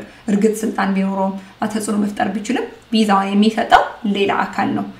ከኢሚግሬሽን ባለስልጣን ተሹሞ ለኤምባሲው የቪዛ መስጠት ክፍል ቪዛ ቁጥጥር ላይ የተሾመ አካል ነው። አንድ ግለሰብ ነው የሚሰጠው፣ ወይም ሁለት ሶስት ሰዎች ሊሆኑ ይችላሉ። whatever ግን ስለዚህ አንዳንድ ጊዜ መብታችን ማወቅ ያስፈልጋል። እዛ ጋር የተቀመጡ ሰዎች ምንም ሊሰሩ የሚችሉት ነገር የለም። እውነት ለመናገር ምንም የተለየ ውለታ ሊውሉልን አይችሉም። ትክክለኛ ነገር ይዘን ካልሄድን በስተቀር ማለት ነው። ትክክለኛ ነገር ይዘን ሄደን ሊያበላሹብን ይችሉ ይሆናል። የሆነ ነገር ሰነድ ሊያሳስቱ፣ ግን እዛ ጋር ዞሮ ዞሮ prove ልናደርገው እንችላለን። ነገር ግን የተሳሳተ ነገር ይዘን ሄደን እስኪ አንድ ሰው የውሸት ጋብቻ የውሸት ምናምን ይዞ ይሄድና የውሸት ሰነድ ይዞ ይሄድና እዛ ጋር የተቀመጠው ሰው ውለታ ይዋለት ማድረግ አይችልም። ምክንያቱም ስልጣኑ አይደለም። ገብታችኋል? እዛ ጋር የተቀመጠው እነዚህን ሰነድ ከኔ ተቀብሎ በቀላሉ ዋና ዋና ነገሮችን ጠይቆኝ ከዛ በኋላ ፎርሙን ሞልቶልኝ እዛ ጋር ላለው ኃላፊ ለማስተላለፍ ነው። አለቀ። ከዛ በኋላ ኃላፊው ነው የሚወስነው። ሰነዱን አይቶ ብቻ ሊወስን ይችላል። አይ ማናገር እንፈልጋለን ካሉ እኔን ጠርተው አናግረኝ ስራቸውን ለማቅለል ለማገዝ ነው እንጂ የተቀጠሩት እነሱ ወሳኝ አይደሉም። ስለዚህ እሱን በጣም ማወቅ ያስፈልጋል።